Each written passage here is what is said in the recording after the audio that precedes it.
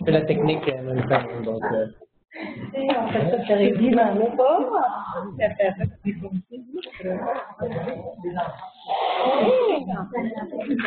Oui. Alors, pratiquer la vague. Vous avez là, on rigole pour euh, s'autoréguler. C'est une gestion. Oui, c'est de l'autorégulation. Oui, oui.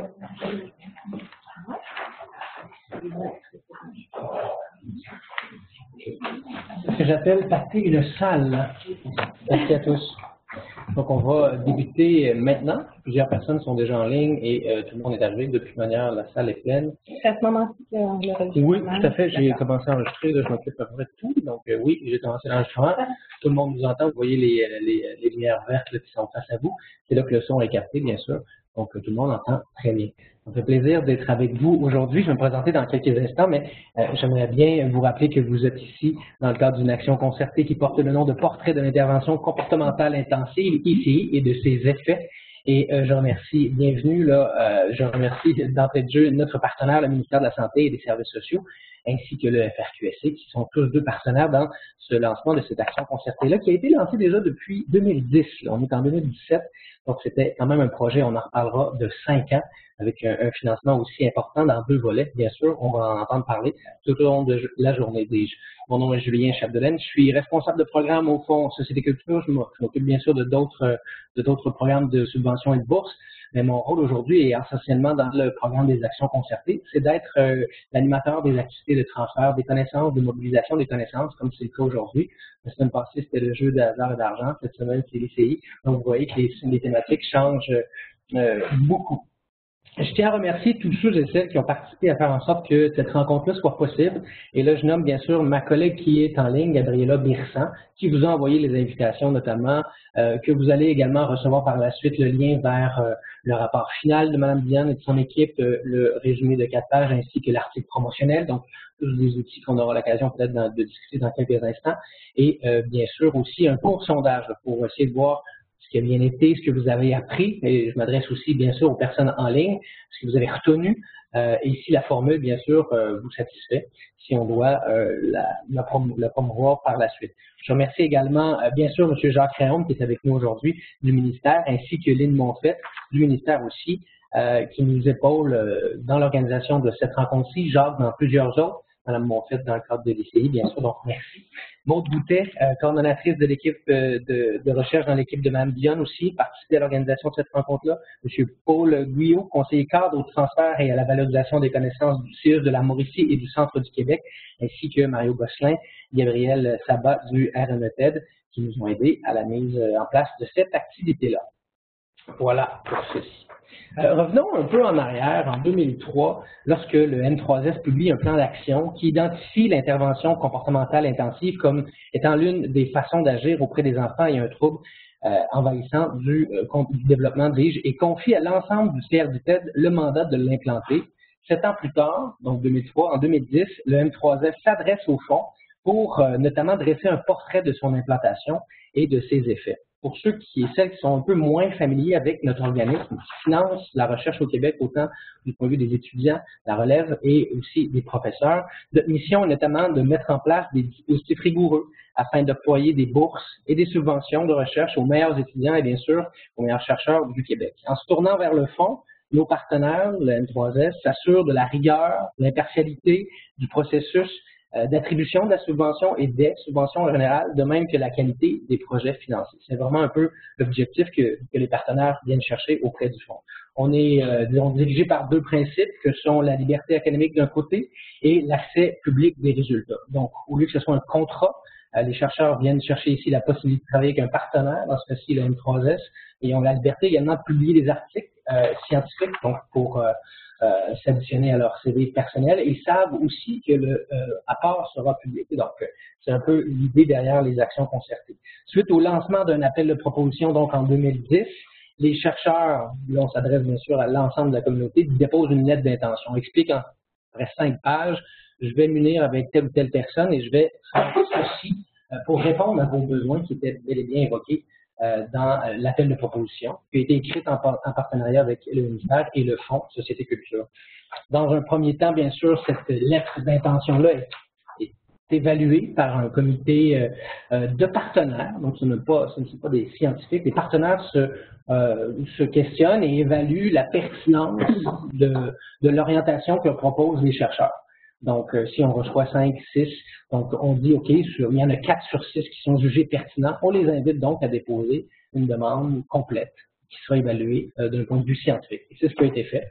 vous comprendrez qu'il y en a une qui l'a eu au final, et c'est Mme Diane et son équipe, bien sûr. Donc, elle a dû passer par aussi euh, toute cette, compétition-là, donc euh, une évaluation de pertinence, et par la suite, le fonds prend le relais sur l'évaluation.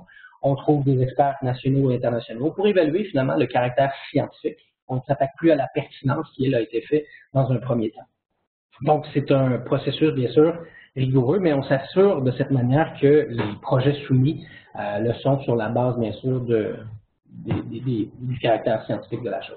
À la suite de ce processus-là, donc c'était à l'équipe euh, sous la responsabilité de Mme Dionne de l'Université du Québec à Trois-Rivières que la subvention de cinq ans, comportant deux volets, ce qui n'est pas commun, euh, je ne le cacherai pas, a été accordée. Les résultats du premier volet, on s'en souvient, portant sur les portraits, d'ailleurs toujours disponibles sur le site web du fonds, et les chercheurs en feront certainement référence aujourd'hui. C'est ce que j'ai dit d'ailleurs dans la présentation, étant donné que les deux sont, sont intrinsèquement liés. Donc, vous pourrez aujourd'hui entendre, comprendre, questionner les résultats de l'équipe euh, et surtout ce qui est entré au deuxième volet, étant donné que le premier aussi a été déjà euh, longuement, je débattu, si je peux me permettre, ou questionner. Donc, euh, cette présentation-là, on arrive à la fin du processus, le projet est terminé, les résultats vont être publics dès la fin de notre rencontre. Donc, c'est à vous, euh, membres de l'auditoire sur le web et aussi les gens en salle, de les, questionner. Vous êtes un peu maintenant les, relayeurs de cette information-là. Donc, c'est à vous de les faire cheminer. Et comme je vous l'expliquais, il y a différents formats. Autant un article promo qui fait une page qui vise à aller droit au but avec, euh, par exemple, le contexte et certaines pistes de réflexion suite euh, à la problématique qui nous, qui nous, qui, qui nous intéressait bien sûr aujourd'hui. Donc, ça peut intéresser un supérieur, par exemple, autant un journaliste qu'un sous-ministre.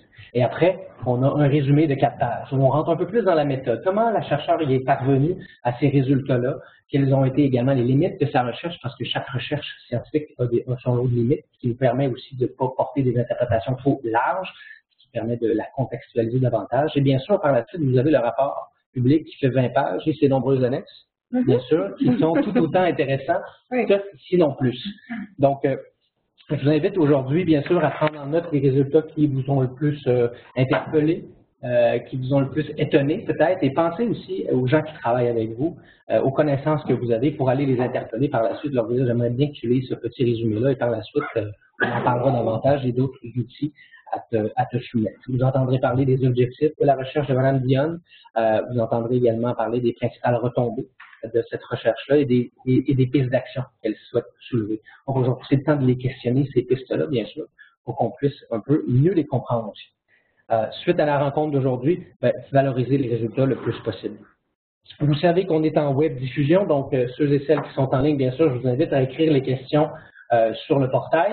Je serai avec Mme Monfette, on, on, va faire la lecture de ces questions-là et lors de la période de questions, on va pouvoir livrer dans la meilleure du temps qui nous est alloué. Bien sûr, là, on, va tendre, on, va vous renvoyer le plus possible à vous euh, en balançant entre la salle et euh, l'auditoire web. Je vous invite tout le monde ici en salle à mettre peut-être vos objets nomades, vos objets nomades, oui, en mode vibration pour pas déranger nos, euh, nos, personnes.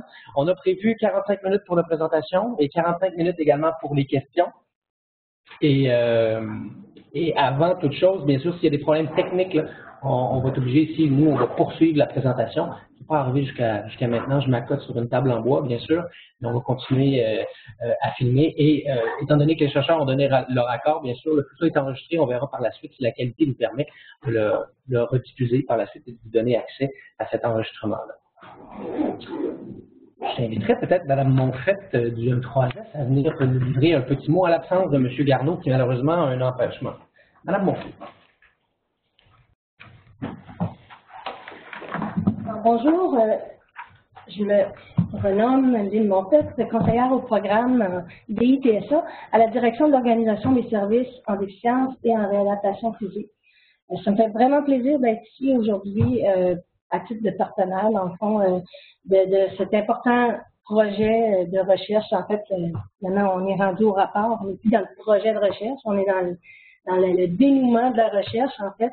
Euh, vous savez que, bon, en mettant de l'avant, dans le fond, l'intervention comportementale intensive dans notre plan d'action en 2003, on savait qu'il y avait des enjeux majeurs hein, financiers, puis il y avait des, il y avait, euh, il y avait beaucoup d'enjeux pour, être en mesure de pouvoir desservir la clientèle. Vous savez que, bon, quand on, on se base sur, sur euh, une approche en particulier, on va se baser davantage sur les données probantes que sur n'importe quel feeling. Hein. On, est vraiment centré sur ce qui est prometteur ou ce qui est ce qui a porté euh, sur des résultats concluants. Donc, c'est dans cette dans cette optique-là qu'en 2003, on a recommandé est-ce que les filles soient déployées à la grandeur du Québec à l'ensemble des enfants 0,5 ans. Donc, qui dit déploiement dit éventuellement évaluation. Donc, sept ans plus tard, ça se valait un minimum de, de, de, c'était une condition sine qua non qu'éventuellement on, on, on, planifierait une évaluation et c'est dans cette optique-là qu'il y a eu une demande de fait au Fonds euh, de recherche québécois euh, Société Petite. Donc aujourd'hui, on arrive à un phénomène que on dirait que les, les astres se sont croisés. En fait, on arrive avec un rapport de recherche qui arrive à terme. On a tout juste lancé le plan d'action sur le trouble du spectre de l'autisme 2017-2022. Euh, on, a l'opportunité d'avoir les résultats en même temps qu'on a des mesures qui vont toucher euh, l'ICI et d'autres approches diversifiées. Donc, on va être en mesure possiblement de, prendre les résultats du, projet de Mme, euh, Madame Dionne et dans, dans en complémentarité avec la revue de littérature de l'INES, l'Institut national d'excellence en santé et services sociaux, de façon à être en mesure de pouvoir euh, éditer ou euh, élaborer des lignes directrices qui viennent entourer l'ICI et par le fait même aussi élargir sur d'autres approches diversifiées là, éventuellement pour d'autres projets. Donc, ça me fait plaisir d'être ici. Je vous souhaite une belle présentation. J'espère que ça va être aussi enrichissant que ça l'est pour nous autres. Donc, euh, je souhaite euh, passer la parole à Mme Diane. Oui. Oui, je vais juste partager votre écran, Anne. Quand vous installiez.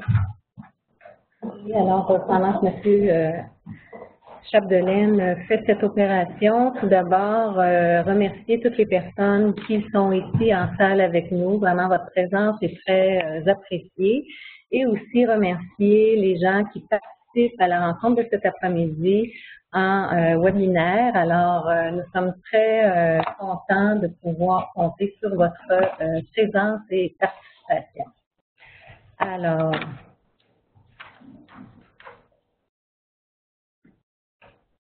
Voilà.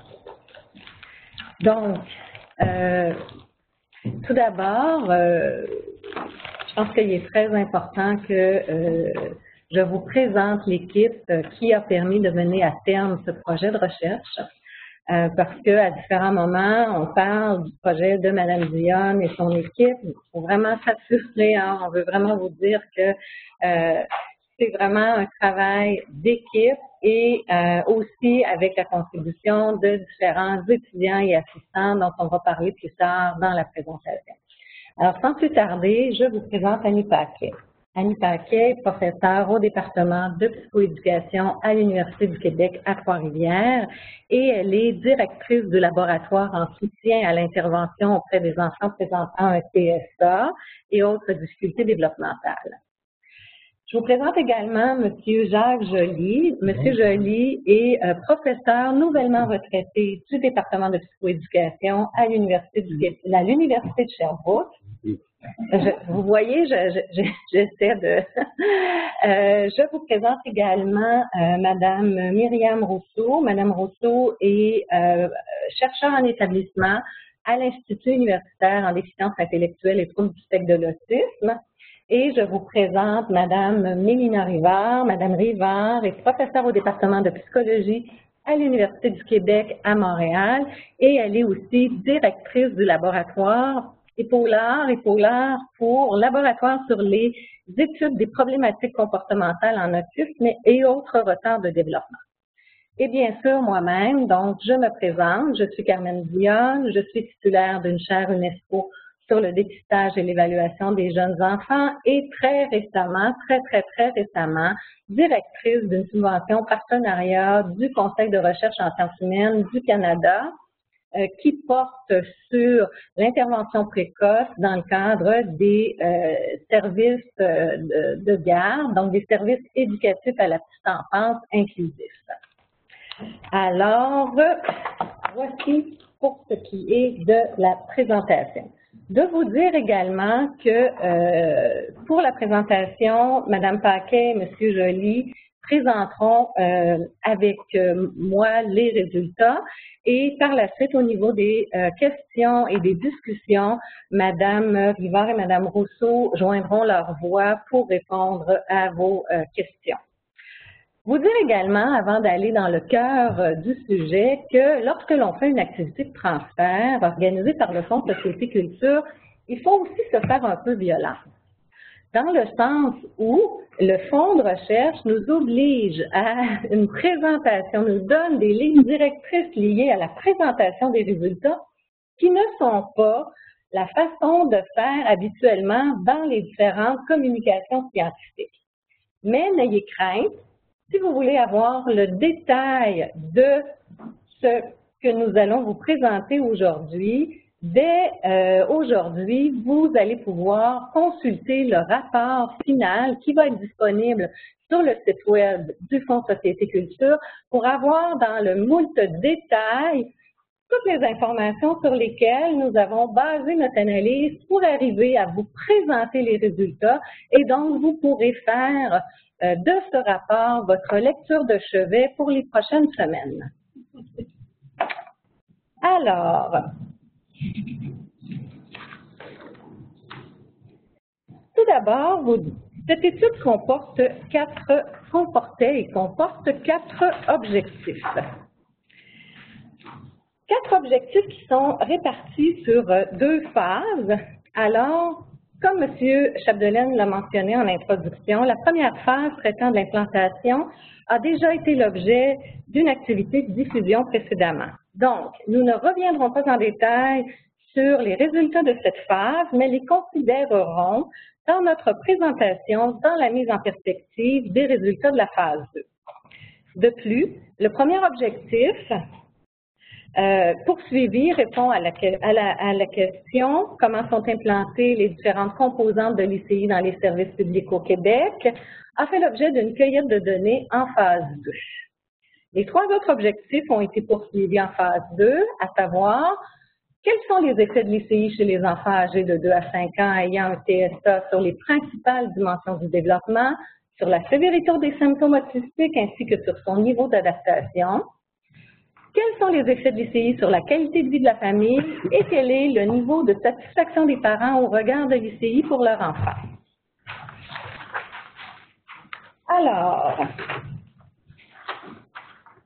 vous savez tous que plusieurs controverses animent actuellement le monde de l'autisme. Parmi celles-ci, est-ce que les investissements requis par l'intensité en valent la peine? Quelles sont les approches et stratégies d'intervention à privilégier à l'intérieur du programme ICI? Quelles sont les cibles d'intervention du programme et respectent-elles les caractéristiques du trouble du spectre de l'autisme? Quel niveau de participation du parent est souhaité? Comment ce type d'intervention est-il compatible avec la vie de groupe dans un milieu de garde? Nous avons euh, identifier ces controverses euh, dans la perspective, d'une part, de ne pas avoir la prétention de répondre de façon complète et définitive à chacune d'elles, mais tenteront d'identifier les éclairages que nos résultats de recherche apporteront à ces questions euh, après la présentation en détail des résultats. Alors, d'abord, M. Euh, Joly présentera le devis de recherche sélectionné. Alors, euh, le devis de recherche qui avait été élaboré au moment de faire la demande, et puis évidemment qu'on a suivi tout au long de l'étude, euh, c'est un devis mixte de recherche qui comprend à la fois des données quantitatives et des données qualitatives. Les données quantitatives étant essentiellement collectées auprès des enfants pour documenter l'évolution des enfants. Et les données qualitatives ont surtout été collectées auprès des intervenants auprès des enfants pour permettre de documenter les pratiques et l'implantation du programme tel que réalisé en pratique par les intervenants auprès des enfants. Il faut voir euh, qu'il y avait une petite contrainte importante au moment de concevoir le devis. C'était, euh, le, l'ICI est un programme universel au Québec, et comme c'est un programme universel, on ne pouvait pas avoir un, groupe témoin euh, non équivalent, alors c'était pas possible. On a donc tenté de maximiser notre devis, et c'est ce qu'on a fait par une étude mixte et un devis longitudinal sur plusieurs années. La phase 1 de cette étude-là a été réalisée en 2011 et a essentiellement été réalisée auprès de répondants dans les 18 CRDI à l'époque qui euh, nous ont permis de documenter quelles étaient les pratiques générales euh, dans chacun de leurs centres. Par après, pour la phase 2, qui comprenait, euh, qui commençait donc la deuxième année de l'étude, en 2, 3, 4 et 5, là, on introduit des mesures auprès de trois cohortes d'enfants en introduisant une nouvelle cohorte à chaque année pour permettre d'augmenter le nombre de répondants à l'étude. Mais chaque cohorte était suivie par après sur plusieurs années. Ainsi, la cohorte 1, elle a été suivie par après non pas de fait sur quatre ans, c'est en pratique sur trois ans à cause de la perte de sujet, mais ça a été quand même euh, sur plusieurs années. Et ces cohortes-là permettaient de documenter à l'aide de différents instruments l'évolution des enfants qui entraient dans les services euh, de l'ICI et permettaient aussi de documenter, qui était le volet qualitatif, toutes les données d'implantation auprès de ces enfants-là. Alors, la deuxième phase a quand même duré plusieurs années. C'était le gros, hein, le cœur, et c'est ce qu'on présente d'ailleurs, les résultats de cette phase-là qu'on vous présente aujourd'hui. Et il y a une troisième phase qu'on est dedans, on l'a même, on la termine, c'était la phase d'analyse et de diffusion des résultats. Alors aujourd'hui, on est presque à droite du graphique, là, c'est la dernière ligne de la phase 3. Alors, les participants, alors quels ont été les participants à cette étude? Alors, un total de 192 enfants ont participé à différents moments de différentes façons, dont 36 filles et 156 garçons, ainsi que leurs parents. Et là, on a presque un nombre égal d'hommes et de femmes qui ont, répondu à nos questions. Et ce sont des enfants qui recevaient des services dans 14 établissements différents, répartis sur tout le territoire du Québec. Ce qui était d'ailleurs une autre contrainte importante à la conception du devis, c'est qu'il fallait couvrir un très grand territoire. Alors, ces personnes-là, ben, ils ont pris part à l'étude à des degrés divers parce qu'on a eu, euh, c'est une vraie étude sur le terrain, on a eu de la mortalité statistique en cours de route, c'est normal parce que les gens, ben, il y avait des fins de service ou encore il y avait des gens qui pouvaient se décider, il y avait le droit de se décider. Alors, de ce nombre de 192 enfants, on a obtenu des données suffisantes excusez-moi, pour documenter l'évolution des enfants à au moins deux temps de mesure auprès quand même de 118 enfants. Ceci dit, euh, juste une petite parenthèse, si vous allez voir la littérature sur l'évaluation des services ici, euh, c'est quand même rare qu'on a un aussi grand nombre d'enfants dans les études. Alors là, on a eu 118 enfants, 24 filles, 94 euh, garçons, ainsi que leurs parents. Et là, on ne l'a pas mis sur la diapo, mais c'est important de le mentionner que ces enfants-là, ben, on avait aussi les intervenants qui documentaient leurs pratiques auprès de ces enfants-là et qui nous ont permis de recueillir les données sur l'implantation que je vais vous présenter là, dans à peine quelques secondes. Alors, les outils de mesure qu'il y avait, qu'on a utilisés, on les a pas mis dans la diapo pour simplifier la présentation, mais auprès des enfants, il y avait euh, essentiellement trois outils qui ont été utilisés, le PEP3, la base et le RANMEN. Et ça, ça pouvait dépendre des milieux parce qu'il était prévu dans notre étude qu'on prenait en considération les pratiques déjà existantes des milieux pour faire le suivi des enfants. Auprès des familles, il y a eu un questionnaire de satisfaction, puis il y a eu le BEACH qui a été administré. Euh, un petit bénéfice secondaire de cette étude-là, qui n'était pas un, objet, un objectif qui avait été spécifié au moment de l'appel d'offres par le fonds, mais on s'est rendu compte qu'on pouvait répondre à une question importante quand même, même si on ne nous avait pas posé la question. Donc, c'est nous qui avons rajouté la question et les réponses. C'est quoi le profil des enfants qui entrent dans les services de l'ICI? On n'avait aucune donnée là-dessus. Et d'ailleurs, on n'en a pas beaucoup, même euh, ailleurs dans la littérature. On s'est dit, ça va être important de documenter ça première chose qu'on voulait documenter, évidemment, c'est à quel âge les enfants arrivent dans les services. Alors, l'âge moyen d'entrée qu'on a pu documenter à l'aide des 192 enfants, euh, c'est l'âge moyen, c'est 4 ans et 1 mois, mais évidemment, ça se répartit en entour de ça. Il y a même 60% des enfants qui avaient 4 ans à l'entrée des services. Et quand on dit que l'enfant a 4 ans, bien, il faut voir que c'est entre 4 ans, 1 mois, 2 mois, 3 mois, jusqu'à 4 ans, presque 12 mois, donc presque 5 ans. Il y avait quand même une assez bonne distribution euh, de l'âge d'entrée dans les services euh, pour les enfants. Ces enfants-là, en utilisant les outils mentionnés tantôt, bien, ce qu'on a remarqué, c'est qu'ils avaient des profils. Excusez-moi, je une mauvaise rue ont des profils extrêmement variés et en plus d'être variés, ben, on a quand même remarqué qu'en général, les enfants sont déficitaires au plan du développement global de l'enfant, mais aussi au plan des comportements associatifs. Alors, le détail, évidemment, comme le Fernand, si vous voulez plus de détails sur le profil des enfants, c'est documenté dans le rapport. Alors, on pense euh, à l'objectif qui consistait à documenter comment a été implanté l'ICI au Québec.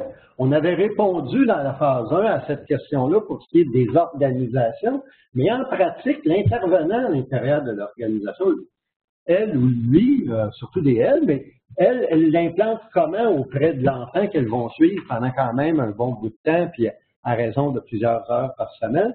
On, a donc euh, euh, questionné ces personnes-là sur tout un ensemble de composantes et de dimensions. On a un modèle là, que vous pouvez retrouver aussi dans le rapport qu'on suivait, mais qui couvre à la fois euh, des dimensions de l'organisation, de l'intervention, de l'intervenante, de, la, participation de l'enfant, de la participation des parents. Tout ça a été documenté et je vais vous faire un résumé plutôt sommaire, mais des points marquants qui se sont dégagés de l'étude de la phase 2 qui d'ailleurs sont assez cohérents aussi avec l'étude de la phase.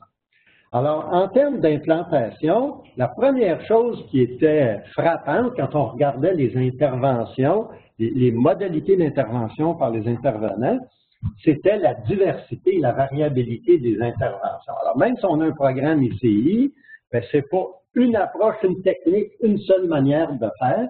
C'est un, un ensemble de manières de faire, euh, mais à l'analyse plus fine de ce que faisaient les intervenants, on, a remarqué que ce sont des modalités d'intervention qui sont d'une part reconnues dans la littérature pour la plupart, et on a aussi remarqué que euh, ça respectait les grands principes de l'ICI. C'est un concept important pour la fidélité des interventions. Est-ce que ça respecte le principe du programme qui est préconisé? Et la réponse est essentiellement oui pour la plupart.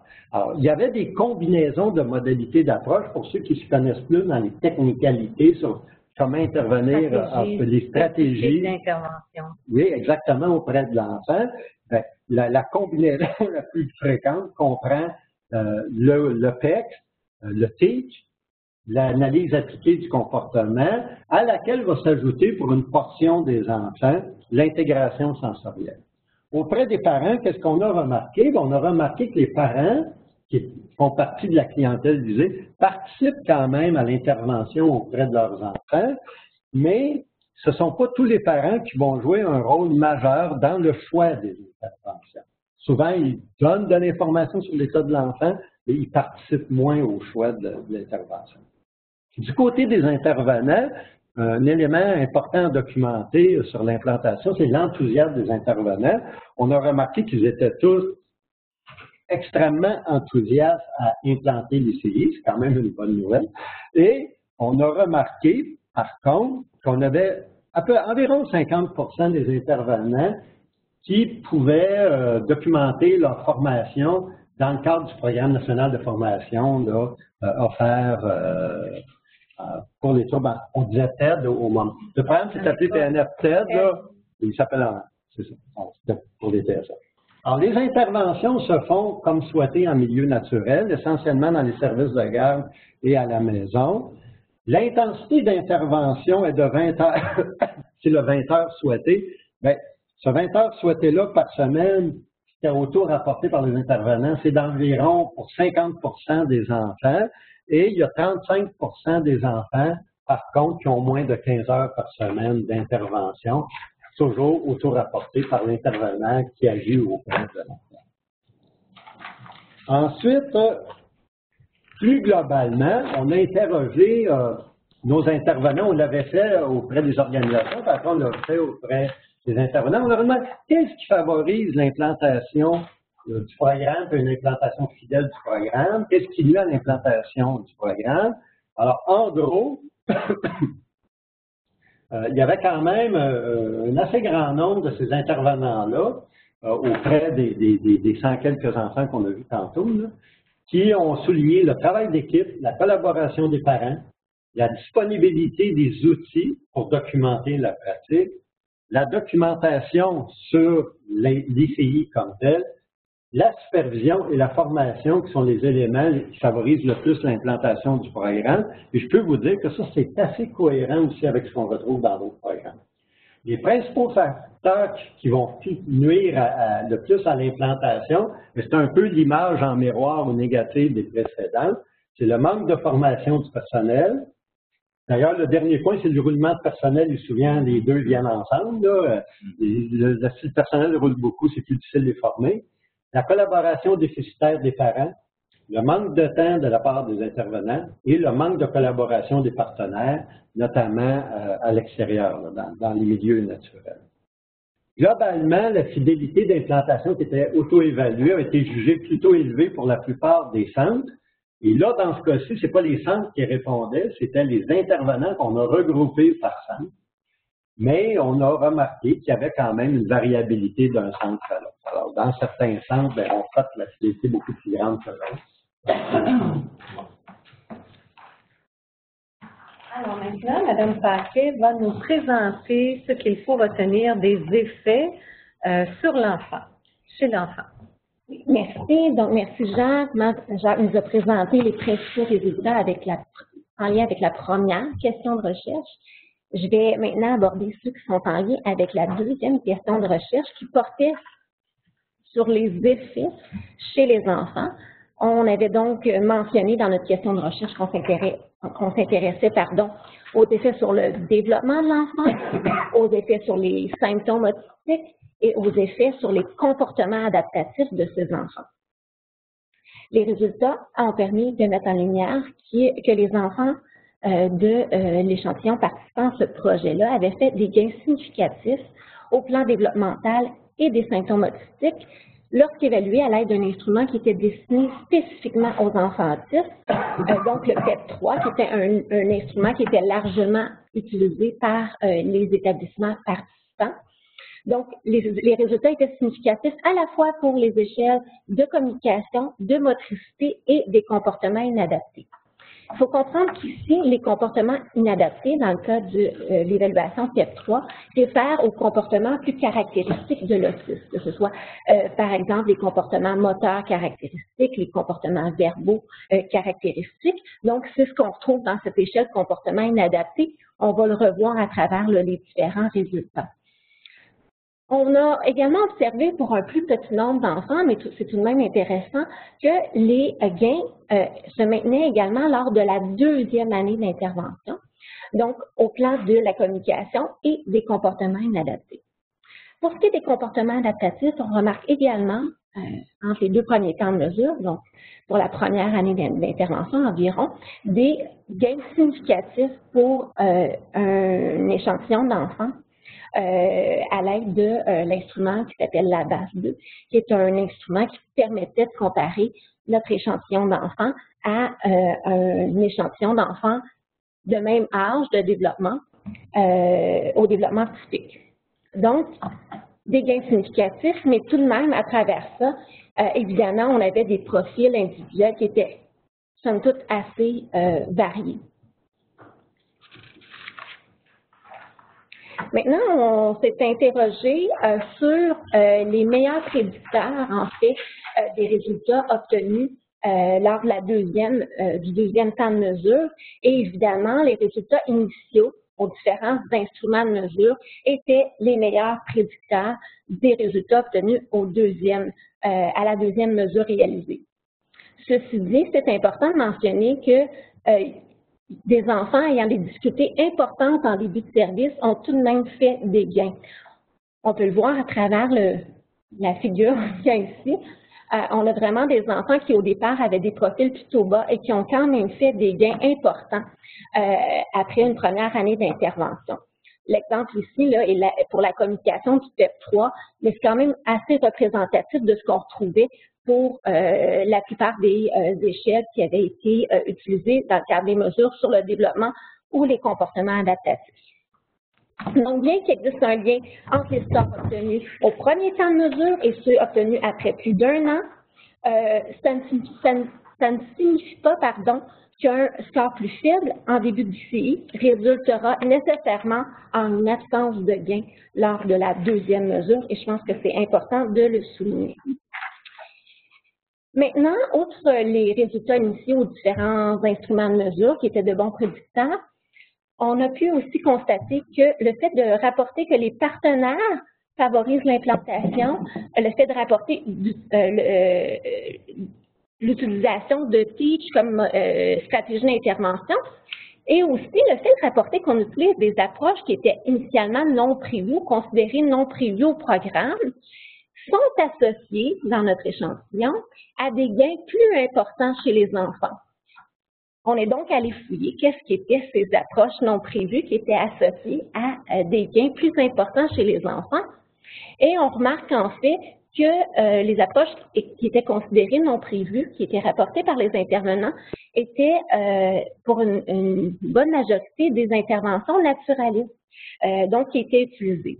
Donc, ça nous a permis de constater que euh, euh, le fait de euh, rapporter les partenaires qui favorisent l'implantation du programme ou encore d'utiliser pardon Teach était associé à des gains plus importants aux échelles de motricité et de comportement inadapté, donc les comportements caractéristiques de, du PSA, et le fait de mentionner avoir utilisé des approches considérées non prévues était associé à un score global de comportement adaptatif plus grand.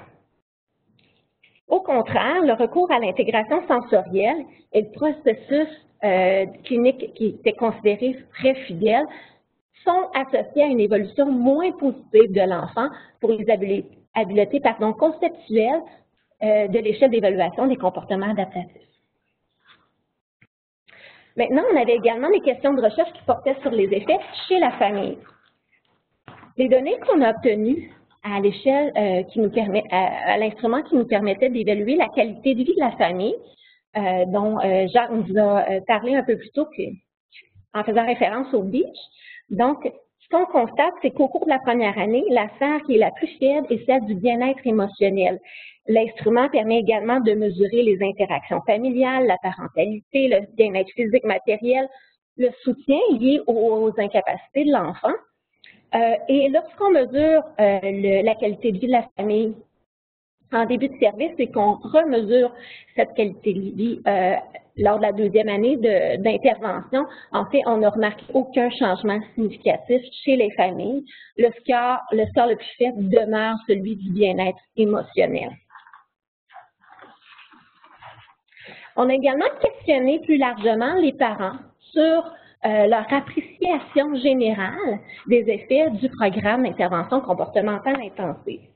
Donc, ce que les parents nous ont rapporté plus qualitativement euh, concernant les changements positifs, euh, c'est des améliorations au plan des habiletés sociales, des habiletés de communication, de l'ouverture à l'apprentissage, de l'autonomie, Quelques parents ont également mentionné des changements positifs au plan moteur, au plan des habiletés cognitives et préscolaires. Certains parents rapportent également des, éléments négatifs liés à euh, l'intervention, notamment ce qui a trait à la fin des services, l'augmentation ou le maintien du comportement des filles chez l'enfant, euh, les difficultés de maintenir les acquis dans le temps, des objectifs qui, avaient été fixés qui étaient non atteints par l'intervention, ou encore le niveau de fatigue qui était engendré chez certains enfants par euh, la mise en place de l'intervention comportementale intensive. On a également questionné les familles euh, d'un point de vue un peu plus quantitatif sur leur niveau de satisfaction. Ce que vous voyez dans euh, la figure qui est en mauve ou bleu foncé, euh, qui est tout au haut là, de, de chacun des, euh, des items, en fait, correspond à un, un niveau de satisfaction, satisfaction qui est très grand. Donc, ce sont les parents qui se disaient très satisfaits. Et ce qu'on peut remarquer, c'est que pour la presque totalité des items, les parents rapportent, mentionnent être très satisfaits de l'intervention euh, reçue que ce soit concernant l'intensité de l'intervention, les endroits dans lesquels euh, on réalise l'intervention, les intervenants, la supervision ou encore les progrès faits par leur enfant. L'item qui a reçu davantage de scores correspondant à assez satisfait plutôt que très satisfait est celui qui concerne la formation offerte avant de débuter l'information et la seconde est concerne l'information reçue par les familles avant de débuter l'information. Ceci dit, euh, euh, somme toute, là, les, évaluations concernant la satisfaction étaient plutôt euh, positives. Je passe maintenant la parole à euh, Mme Dionne qui va faire ressortir les différents messages clés et pistes d'action. Alors, à la lumière de l'ensemble des résultats qui ont été présentés, nous avons pensé organiser l'information sur les messages clés alentour des différentes controverses qui animent actuellement le monde de l'autisme et de l'intervention comportementale intensive. Mais avant de débuter, soyons très clairs. Le mandat de notre euh, équipe et les questions auxquelles notre équipe avait à répondre ne concernaient pas l'ensemble de ces controverses, concernait l'évaluation de l'implantation, des effets, des effets chez l'enfant, mais également au niveau de la famille. Mais on ne peut faire fi des controverses actuelles et nous avons pensé situer, en fonction de ces controverses, quel éclairage nos données de recherche pouvaient apporter? Éclairage, rappelons-le, rappelons-le, qui n'a pas la prétention d'être complet ou définitif mais qui apporte son lot d'informations tout à fait pertinentes et porteuses. Alors, à la première question, est-ce que les investissements requis par l'intensité en valent la peine? Eh bien, les résultats militent en faveur de poursuivre les efforts afin d'offrir des services précoces et intensifs de qualité ayant recours à des interventions reconnues. En effet, ils indiquent que les enfants en contexte d'ICI font des gains développementaux significatifs, bien qu'il existe une variété de trajectoires chez les enfants. Une arrivée précoce dans les services permet à l'enfant de continuer à faire des gains développementaux et ceci est d'autant plus important que le profil des enfants à l'entrée des services fait état de retard et que les effets du programme ICI observés dans le cadre de l'étude touche l'ensemble des sphères de développement. Mentionnons également que malgré le fait que le niveau de développement initial de l'enfant explique une bonne partie des gains, il est à noter que ceux ayant d'importants retards bénéficient aussi de l'ICI. Maintenant, aux questions.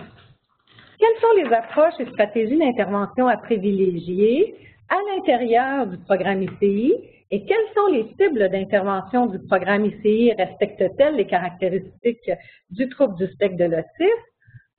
Les intervenants ont recours à une diversité de combinaisons d'interventions comportementales, allant de l'utilisation de stratégies très, très, très explicites et décontextualisées à des stratégies tirant profit des routines et contextes de vie quotidienne.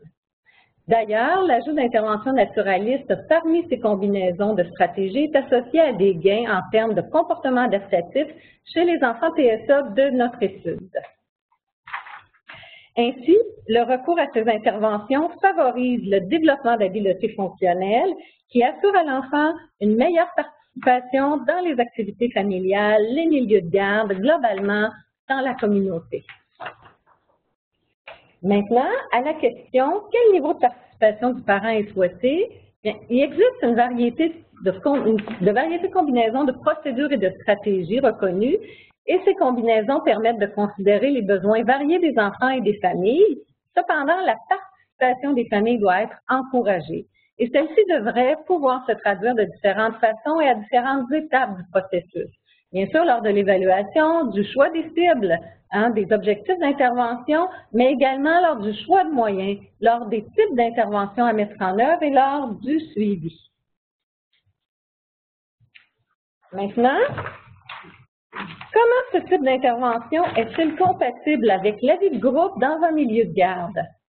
La qualité de la collaboration entre les différents partenaires impliqués dans l'ICI est un facteur important à considérer afin de favoriser une meilleure réponse à l'intervention chez le jeune enfant ayant un TSA. Dans le cadre des services québécois d'ICI, ayant majoritairement fait le choix d'offrir l'ICI en contexte de milieu de garde, les acteurs de ces milieux sont considérés comme des collaborateurs essentiels à une mise en œuvre optimale de l'intervention. Et, au-delà des controverses, il faut porter une attention toute particulière aux conditions d'implantation de l'intervention. Entre autres, par le biais de la collaboration avec les partenaires, du travail d'équipe, de la formation, de la supervision, mais surtout en rendant accessible une documentation claire concernant la mise en œuvre du programme. Une équipe nationale d'implantation qui travaillera avec des équipes locales serait un atout comme le suggèrent d'ailleurs les meilleures pratiques en matière d'implantation. Maintenant, piste de recherche. Comme c'est le cas pour euh, toute recherche, des questions demeurent à clarifier et à approfondir. Alors, bien sûr, l'intensité est un aspect à approfondir dans le cadre du programme ICI. Cependant, il importe de ne pas réduire l'intensité au nombre d'heures d'intervention offertes à l'enfant. Il s'agit d'une dimension importante, certes, euh, mais la fréquence et la pertinence des opportunités d'apprentissage offertes à l'enfant importent également. Face à la diversité des interventions comportementales et la variété des profils des enfants et des besoins de leur famille, l'individualisation des interventions dans le cadre du programme ICI demeure une préoccupation majeure dans laquelle des efforts de recherche doivent être investis. Nos efforts de recherche doivent aussi considérer les limites des instruments de mesure fréquemment utilisés pour évaluer les effets.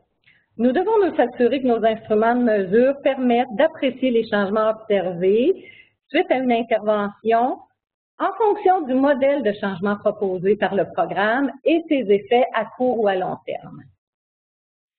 Et finalement, étant donné l'importance des partenaires du programme ICI, il importe de considérer et d'étudier davantage quel soutien, euh, sous quelle forme, quelles sont les formules qui doivent être euh, euh, développées, qui doivent être mises en place pour s'assurer que les enfants ayant un trouble du spectre de l'autisme, leur famille et les milieux qu'ils fréquentent puissent bien composer avec la réalité d'avoir un enfant qui présente un trouble du spectre de l'autisme. Alors, voilà, c'est ce qui complète notre Avant de terminer, je souhaiterais euh, adresser euh, des remerciements au Fonds de recherche Société Culture. Euh, vraiment, le programme des actions concertées est vraiment un programme très intéressant. il permet de mettre en relation des équipes de recherche avec des préoccupations des milieux de pratique avec aussi le soutien du Fonds pour s'assurer d'une indépendance des chercheurs dans le cadre de la réalisation de ces études. Alors, le Fonds agit toujours euh, en, médiateur, entre guillemets, hein, euh, dans, dans le cadre des actions concertées.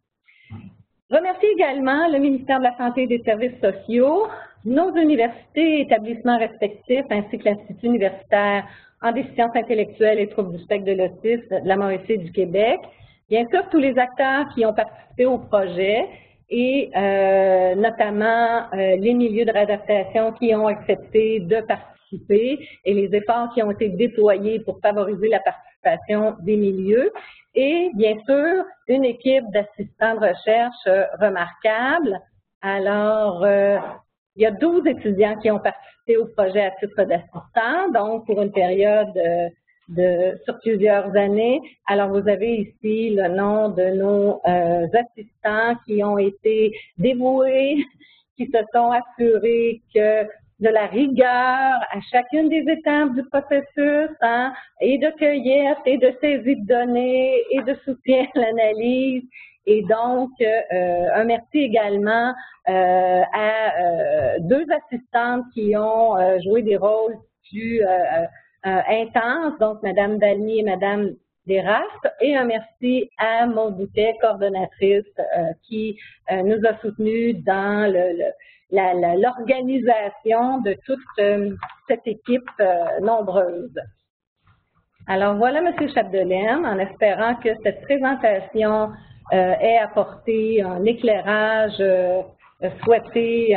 nous arrivons maintenant à la période de discussion et de questions. On débute, je pense que l'équipe mérite une bonne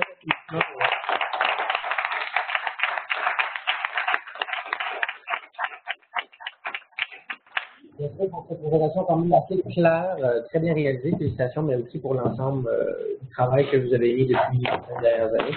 Donc, euh, félicitations à Carmen et tout le monde.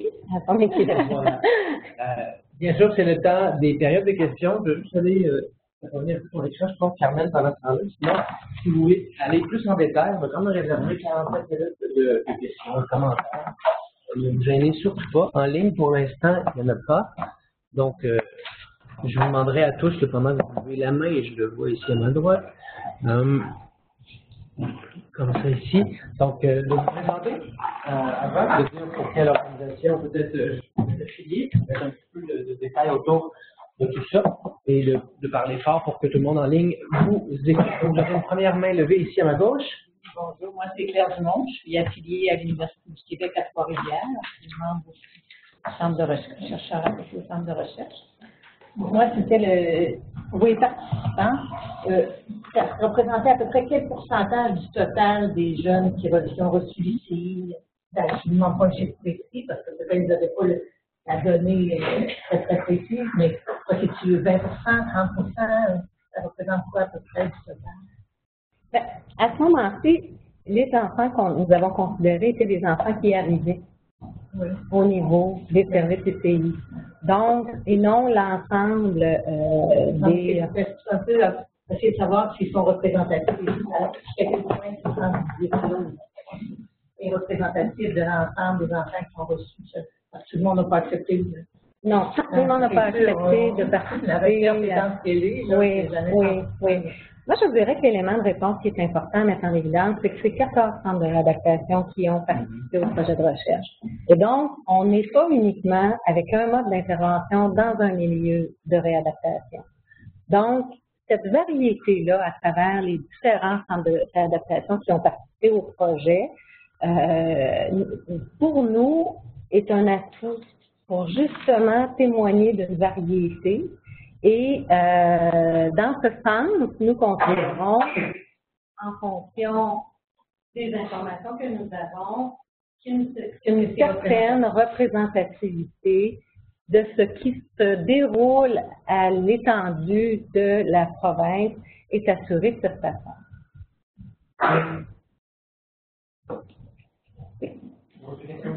Bonjour. Euh, Bussière, UQTR, euh, laboratoire en TSA, euh, je suis prof en psycho.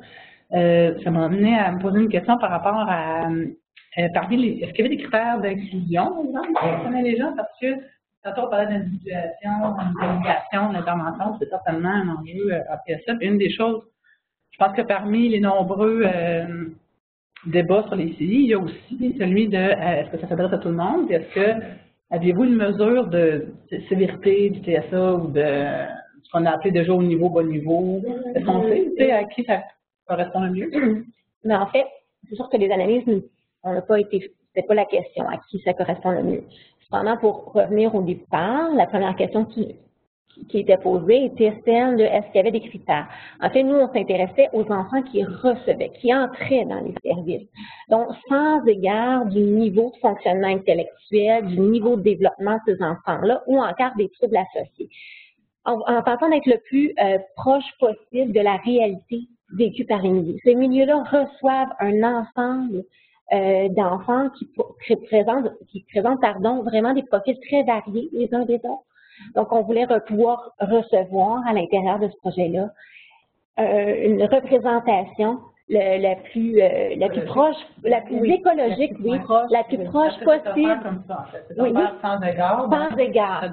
Et euh, exactement. Et comme le mentionnait d'entrée de jeu Jacques en début de présentation, quand il a, il a présenté le profil des enfants, on se retrouvait effectivement avec un échantillon euh, d'enfants qui, qui présentaient des profils très variés, donc des niveaux de fonctionnement très variés d'un enfant à l'autre. Et il a mentionné également, le précisé, somme toute, si on regarde la globalité de tout ça, il faut dire que nos enfants présentent des déficits euh, significatifs pour une bonne majorité. Donc, on se retrouve euh, dans l'échantillon avec des enfants qui présentent un certain niveau de difficulté. Bien sûr, il y en avait qui présentaient pas ou très peu de déficit au plan des comportements adaptatifs ou du développement, mais la bonne majorité de nos enfants étaient des enfants qui présentaient, oui, un certain niveau de retard ou de difficulté. Ça peut penser que c'est une étude de recherche future, ah, oui, tout à fait. Tout à fait. Oui, tout à fait. Et que quelquefois, les, euh, des, des, discours contradictoires sur la place publique peuvent référer quelquefois à des profils d'enfants qui sont différents. Oui. Je pense que vous comprendrez aussi que nous, notre étude a été, euh, on, est dans une posture de chercheurs qui euh, s'intéresse euh, aux effets de l'intervention dans une situation réelle, hein, dans un, modèle en situation réelle, donc auprès des enfants tels qu'ils se présentent dans les milieux de réadaptation. Et à partir de là, ben, nous, avec les données qui étaient disponibles et accessibles, on a pu réaliser nos, euh, nos, nos, traitements. C'est clairement ça le, le mandat et la volonté, en fait. Oui. C'est un défaut chercheur de toujours euh, voir venir ce qui s'en vient après. C'est comme un modèle d'excitant, on préfère ça, ça, ça. Oui, c'est ça qui roule dans ma tête, là. Mais oui. Oui, c'est pas faire les choses par étapes. Exactement. Mm. Mais oui, ça demeure une question phare. Mm. Ben, on parlait de l'individualisation. Mais vous avez commencé il y a euh, sept ans. Fait que c'est sûr que vous avez un moment où les enjeux aussi euh, ont évolué. Puis ça n'a pas l'air long, 5, 5 7 ans. On a tous montré qu'il y a de l'effervescence. Oui. C'est ça, vous arrivez avec des questionnements qui n'étaient pas euh, au moment fait le projet. Et c'est pour ça quand on a repris à la fin avec les pistes de recherche, ben, on les a repris en fonction de la d'aujourd'hui. Effectivement. Euh, bien, avant de poursuivre avec les questions en ligne, euh, d'une part, euh, Marjolaine Bourque vous félicite là, avec euh, et votre l'ensemble de votre équipe, bien sûr. Euh, Monique Carrier se questionne à savoir, dans l'implantation, est-ce que vous avez le pourcentage de l'implication d'équipes interdisciplinaires? On sait ce, ce nom-là. Non, La, la, réponse c'est dans la question, est-ce qu'on a le pourcentage d'implication d'équipe? C'est non. Ah, non. Non. Excellent. Si vous avez, si vous voulez aller plus dans les détails, Mme Carrier. euh, suis désolée, mais non, on n'avait pas cette, cette Exact, c'est pas une donnée euh, accessible. Excusez-moi, mais ce qu'on a, par contre, dans la c'est euh, avec qui, qui intervient auprès de l'enfant. Alors, à l'étape, c'est fait par, à l'étape de l'évaluation, à l'étape du choix des objectifs et à l'étape euh, du choix des, des stratégies, des moyens d'intervention on a de documenter comment se fait ce travail-là, avec quels outils, avec quelles personnes ont impliqué. Donc là, vous allez voir quand même, ça décrit assez bien comment ça se fait, mais on n'a pas quantifié ça parce que pour quantifier, c'est un peu, la, on revient à la question initiale tantôt, quel pourcentage ça représente, qu'il faudrait avoir une mesure précise du dénominateur, c'est-à-dire combien de personnes ça représente, etc. Et c'est ça qu'on n'a pas. Nous, on sait ce qu'on a, mais on ne sait pas c'est quoi la base numérique sur laquelle on pourrait euh, utiliser pour calculer un pourcentage. par contre, c'est très bien décrit dans le rapport comment les gens oui, Le rapport de la phase 1 porte davantage au niveau de l'implication des différents professionnels. C'est vrai qu'on l'a à deux endroits, là dans la phase 1, puis on a aussi dans, dans dans la phase phase 2, mais il est très beaucoup. Bon, donc, il est déjà accessible là, avec le volet 1. Parfait, merci. Et sinon, avant d'aller euh, aux questions en salle, je vais en profiter pour vous demander, euh, Madame Carrier, euh, récidive avec une autre question. Est-ce que ceux qui recevaient 55 des 20 heures ont obtenu plus de gains que ceux qui en avaient moins de 15 heures, les 30 Alors, la Est-ce qu'on peut avoir une réponse, en fait? C'est un peu ça l'idée, la réponse que nous, on suggère est que, en fonction des, euh, des participants qui ont accepté de participer au projet de recherche, nous n'avons pas eu un nombre suffisant de données pour établir l'efficacité d'intervention en fonction de différents niveaux d'intensité d'intervention. Donc, euh, cette, cette euh, comparaison-là n'a pas été possible, puisque la majorité des interventions étaient supérieures, étaient de l'ordre du euh, 20 heures vingtaine. semaine, une vingtaine d'heures semaine. C'est une donnée, écoutez, c'est une donnée que j'ai beaucoup fouillée parce que c'était quand même une question qui était importante, puis on, l'a abordée quand même euh, dans la présentation et c'est abordé dans le rapport. Euh, il y avait un certain nombre d'enfants qui avaient moins de 10 heures par semaine. Idéalement, là, si on avait pu euh, quantifier l'effet sur chacune des mesures des enfants, des enfants qui ont moins de 10 heures, entre 10 et 15, 15 et plus, et avoir une réponse définitive, c'est sûr qu'on l'aurait.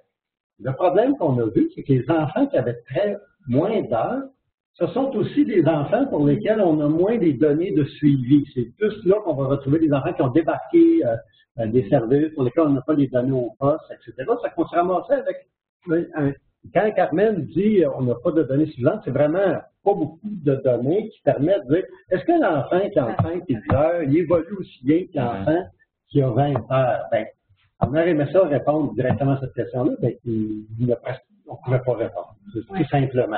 là. Et c'est pour ça que dans les recherches faciles, c'est le premier point qui est identifié, c'est l'intensité. Il faudra vraiment étudier euh, de manière euh, euh, rigoureuse et avec une, une méthodologie robuste cette question-là. Et nous, notre étude sur le terrain, elle ne permet pas d'y répondre pour le moment. Et Ouais. Allez-y, Madame Paquet. Et rappeler que euh, ça va être intéressant de questionner l'intensité au-delà de la question d'art, parce qu'on peut faire Ouais. une multitude de choses à travers ces heures d'intervention-là. Donc, comment on, on, on optimise l'utilisation de ces 10, 15, 20 heures là, qui ont été utilisées dans le cadre du projet? Et comme la question ne portait pas sur le nombre d'heures, on n'a pas exploré jusqu'à ce point-là la question de l'intensité, mais euh, il va vraiment falloir se pencher sur euh, euh, qu'est-ce qu'on considère comme étant de l'intensité euh, au niveau de l'intervention comportementale intensive. On peut faire pour un 15 heures des interventions qui ne sont pas appropriées à l'enfant et dont l'enfant ne va pas profiter. Alors, considérons-nous que ce sont des 15 heures. L'autre chose que j'ajouterais également, c'est que nous, dans les questions de recherche qui étaient dans l'appel à proposition euh, de l'action concertée, euh, on n'avait pas de questions spécifiques hein, qui nous demandaient de comparer différents types d'intensité en fonction des résultats obtenus auprès de l'enfant. Et donc, avec le devis qu'on a déposé, on a fonctionné avec les participants. Donc, euh, ça explique pourquoi cette, ces- ces analyses-là n'ont pu être possibles. J'avais une question ici. Merci de vous présenter. Oui, Gabrielle Salag du Réseau national d'expertise en TSA. En fait, j'ai deux questions, si je peux me permettre. Oh oui. OK. Euh, premièrement, au niveau du 20 heures, 55% des enfants ont reçu un peu plus de 20 heures. Est-ce- de ce que j'ai compris, quand vous l'avez nommé, c'est que ce sont des données rapportées par les intervenants. Elles n'ont pas été croisées avec des fonctions stade euh, en vérification des HPS et tout ça. Pas au niveau des effets. Donc, pour une multitude de raisons, euh, effectivement, on- en début la phase 1 sur l'implantation, on est allé chercher des mesures de système, on, s'est informé, tout ça. Mais euh, il faut considérer que les mesures d'heures de prestation de service posent des défis importants également. Euh, C'est sûr qu'une mesure auto-rapportée a ses limites Et la mesure d'heures de prestation de service a également des limites importantes euh, parce qu'elle diffère euh, d'un endroit à l'autre. Les consignes sont parfois différentes sur la façon de compléter les heures de prestation de service. Donc, elle n'ajoutait pas euh, beaucoup d'informations finalement à ce qu'on avait déjà. Donc, on a euh, choisi de respecter le devis initial qui était vraiment d'utiliser les heures rapportées par chacun des intervenants en termes de mesures d'implantation de l'intervention pour chacun des enfants dont il était question dans euh, le projet de la phase, de la phase du projet. On, est toujours désolé quand on ne peut pas avoir, un peu comme les instruments d'évaluation, hein, on a décidé, on a fait le choix de travailler avec les instruments qui sont utilisés par les milieux de réadaptation.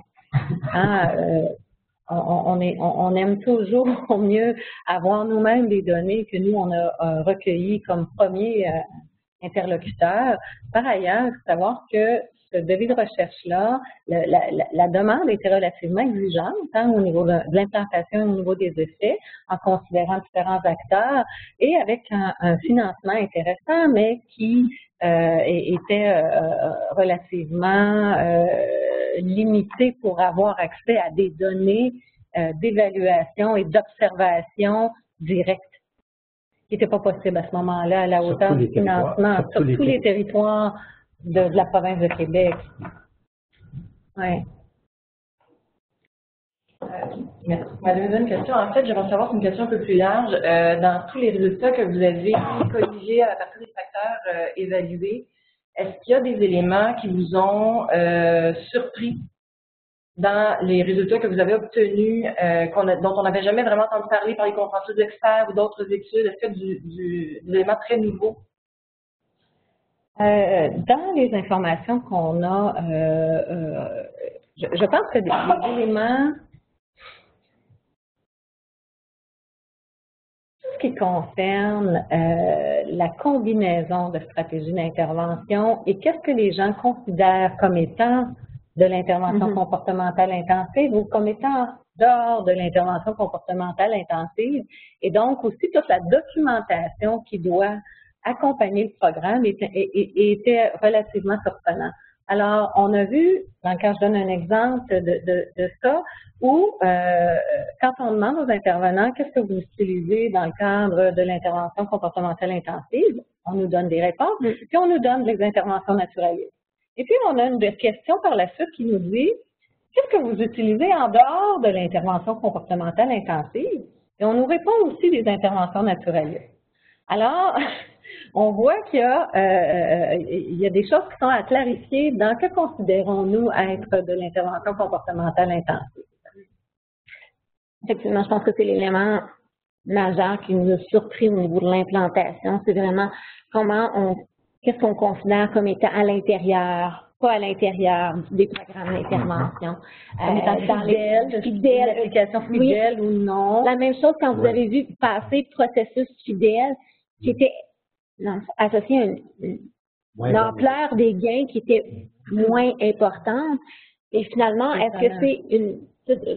Après ma banque, quand, quand Jacques sort la statistique, puis moi je regarde, je fais qu'est-ce que qu'est-ce qui se passe ici? Mais pour finalement comprendre que c'est probablement une, impression d'avoir à adapter justement la question de l'individualisation en fonction de chacun de ces enfants-là, qui nous amène des fois à être un petit peu à côté du processus clinique classique euh, qu'on entend à l'intérieur des établissements pour qu'ils soient davantage adaptés à la réalité de l'ICI, mais encore plus, encore plus adaptés en fonction de chacun de ces enfants-là. Donc, euh, vraiment, c'est ce qui nous a euh, parfois étonné. En 2005, je m'intéresse au concept de qualité d'implantation, fidélité d'implantation mm-hmm. des programmes. Et on dit toujours, on répète partout, partout où je vais, puis ceux qui s'intéressent à ça, ils le répètent à peu près partout on reconnaît normalement que si on implante fidèlement un programme, il devrait être plus efficace. Il y a quelques exceptions. Mais on est tombé sur l'exception. Je t'avoue, c'est moi qui ai fait les analyses. Là. je voyais apparaître la régression, les régressions. Là, puis là, c'est significatif. Wow, je suis content, la fidélité, ça marche. Là, tu as le signe moins en avant. moins que c'est ça. Là, c'est négatif. Donc, qui est fidèle, l'enfant, il, il, va, il réussit moins bien au poste pour voyons donc. C'est contre-intuitif et c'est contre littérature, mais n'empêche que le résultat était là. D'ailleurs, il est dans le rapport, puis il est dans la présentation d'aujourd'hui, on ne l'a pas caché. Mais ça demande euh, à, à- à réfléchir, et puis j'ai donc euh, parlé à des collègues qui s'intéressent à ça, comment on peut l'expliquer, puis on arrive souvent à la même explication, c'est qu'il est possible que ce soit réactif.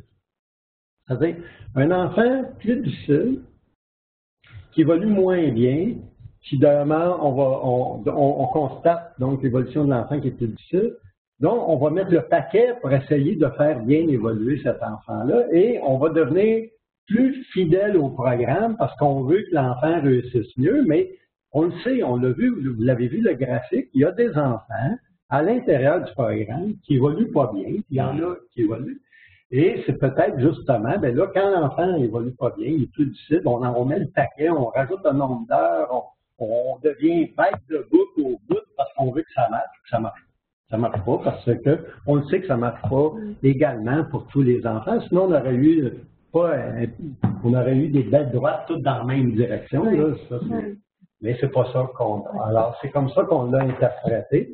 Mais ça répond, je pense, à ta question. Est-ce qu'il y a une affaire qui t'a surpris, qui nous a surpris?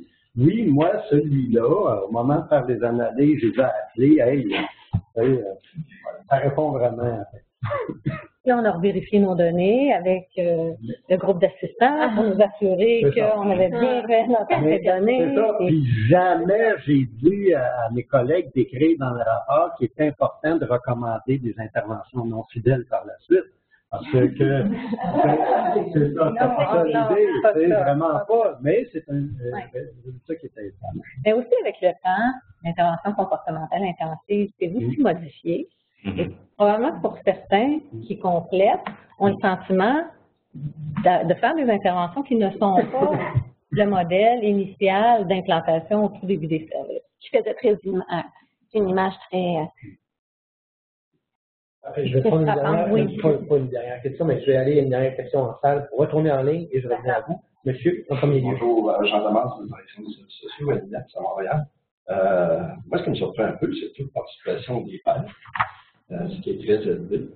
Euh, comment vous expliquez ça? Est-ce qu'il y a des nuances par rapport euh, au point de vue de leur conjoint? Par rapport En fait, euh, Oui. Répétez la question pour être sûr qu'on entend bien en ligne. Alors, la question, c'est- euh, le taux de participation des pairs. Alors, dans les Je veux juste faits, vérifier, mais oui, je crois que dans les faits, euh, qu'on inscrit comme répondant et le père et la mère. Alors, c'est pour ça qu'on on- d'un- leur demande de, de- de répondre ensemble euh, au questionnaire qui était euh, passé. Ouais, mais Il y a quand même, c'est- pour les 192 enfants qui ont participé à différents degrés, il y avait quand même 120 femmes et 112 hommes. Et il y avait, euh, pour les 118 pour lesquels on a des données d'évolution, il y a 85 femmes et 78 hommes euh, qui ont répondu, donc qui avaient été cochés Mm. sur, Sur le- les- sur le questionnaire. comme rem- remplissant ensemble. Et c'est vrai, c'est vrai pour avoir fait beaucoup, beaucoup d'études pour les centres jeunesse, où on a exactement le contraire, c'est-à-dire à peu près juste un seul répondant, puis c'est à peu près toujours la mère, sinon des tuteurs légaux. C'est vrai qu'ici, euh, la, la collecte des données a favorisé une réponse. euh, on n'a pas comparé J'ai des exemples où il y avait des distinctions assez marquées, mais on n'a pas fait d'analyse pour aller voir est-ce que la perception euh, père-mère était euh, différente. On n'a pas fait ce, ce niveau d'analyse. Mais, mais les données existent. Un complément de question? Euh, mais j'ai dit que j'allais en ligne par la suite. Euh, Madame euh, Diane, est-ce que vous euh, pouvez discriminer quels enfants recevaient les services selon des approches naturalistes? Par exemple, est-ce qu'en fonction du profil de l'enfant ou plutôt de la phase d'enseignement? Il n'a pas été possible d'établir, on a essayé hein, différentes stratégies, il n'a pas été possible d'établir euh, le, le, le, Le le- profil le profil en fonction des stratégies d'intervention utilisées. Non, on a essayé, puis ça donnait rien. Merci. C'est une question de Madame euh, Chias. C'est fort intéressant comme question, par contre, euh, mais malheureusement, c'est pas dans le cadre de ce projet-ci qu'on va pouvoir euh, y répondre? Mm. De ce côté-ci, après je retourne à Madame là-bas. Je voulais juste continuer sur l'idée de la, de la science d'implantation. Je demandais à M. Joly si vous aviez pensé, puis vous étudiez ça depuis fort plus longtemps que moi, là, mais je, je sais que récemment, un de vos collègues avec qui j'ai travaillé euh, soutenait cette idée-là qu'il faut implanter les choses de façon euh, fidèle et euh, parfaite, idéalement, et que c'est ça qui garantit l'efficacité. Cette idée-là a l'air d'avoir été remise en question un petit peu du fait que l'écologie des milieux change et que finalement, un, c'est impossible à peu près.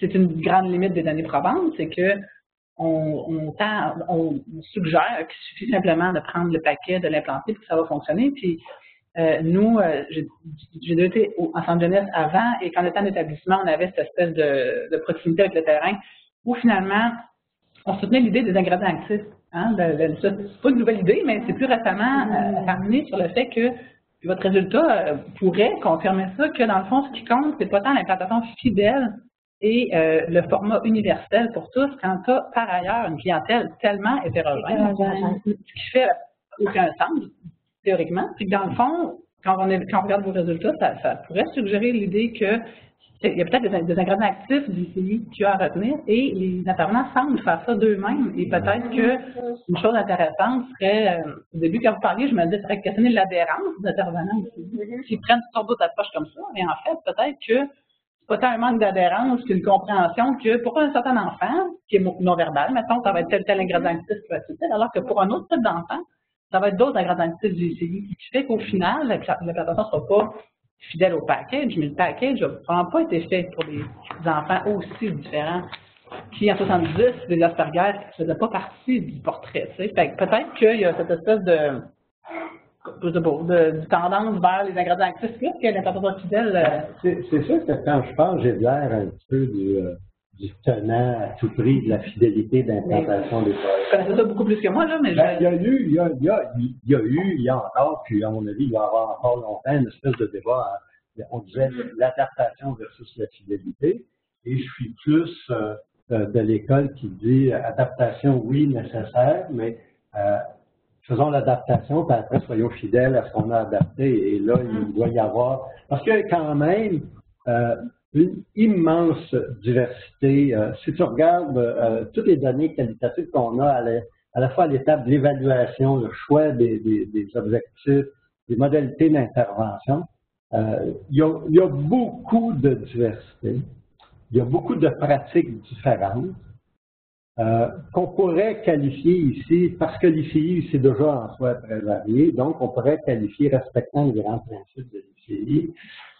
Mais il y a un prix à payer pour cette grande diversité-là.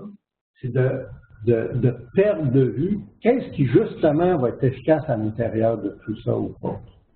Et euh, si c'est trop diversifié, puis si ça, ça devient un peu free for all, ce qu'il ne faut pas que ça devienne d'ailleurs, Là, à un moment donné, on ne sait plus. Là. On ne sait plus qu'est-ce qui marche, qu'est-ce qui ne marche pas. C'est quoi qui est important. C'est ça, exactement. Mais de, rendre ingrédients actifs, selon moi, c'est un facteur même justement d'adhérence. Parce qu'au-delà du programme de 200 pages, si on dit, OK, c'est l'intensité, mettons, ou c'est le fait qu'on est en un pour un, que l'enfant, c'est tel élément qu'on veut développer, ça cible aussi. Possiblement que les intervenants doivent être comme un peu submergés par euh, puis ils ne sont pas tous formés, je comprends. Mais on a vu, on a vu dans, dans, dans les facteurs qui favorisent euh, l'implantation, il y a un assez fort consensus euh, pour dire qu'un qui nuit, c'est le roulement personnel. C'est quelque chose qui m'intéresse beaucoup.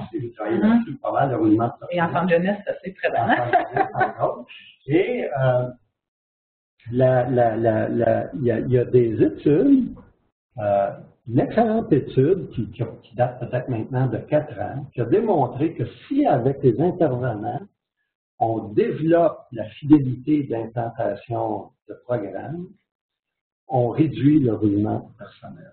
Parce qu'on développe le sentiment de compétence et on renforce le sentiment de contribuer à l'évolution de l'enfant. Alors, cette notion-là de travailler avec les intervenants à, développer la fidélité, c'est pas de dire, regarde là, pose pas de questions, fais ce qu'on dit, fais le lien. C'est vraiment la fidélité, c'est, ça fait partie d'un processus de formation. D'abord, ça commence avec la documentation, parce qu'être fidèle à un programme, il faut d'abord le documenter, bien documenté, bien formé, bien supervisé, adapter aux besoins en fonction des contraintes que vivent les intervenants, redocumenter, reformer, resuperviser. Et là, on atteint, je pense, les objectifs. Et c'est probablement dans ces cas-là que la fidélité devient prédicteur d'une évolution plus positive des enfants. Parce qu'on sait, il y a quand même quelques études qui démontrent que dans certains cas, des fois, la fidélité ne donne pas une. Entre autres, il y a des programmes qui sont Hein?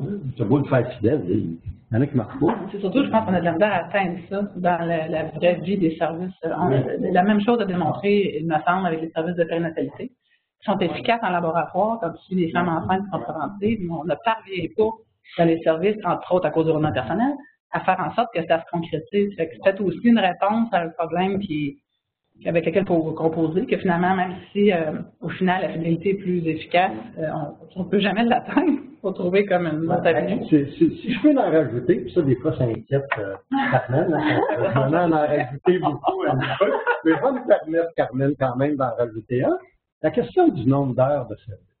Là, on est dans quelque chose d'un peu touché, là. Fidélité par rapport au programme, présentement, c'est le 20 heures, et nous, c'est le modèle avec lequel on a travaillé, d'ailleurs, on continue de travailler, c'est le 20 heures semaine. On n'a pas de données qui prouvent à tout prix que 20 heures, c'est un petit peu plus efficace que 18, que 15, que 13, que 14, que 13, que 12, que 1, que 5. Ben, tu sais, on pourrait dire, pas nécessaire d'être vraiment fidèle, là, on ne pas 5 heures?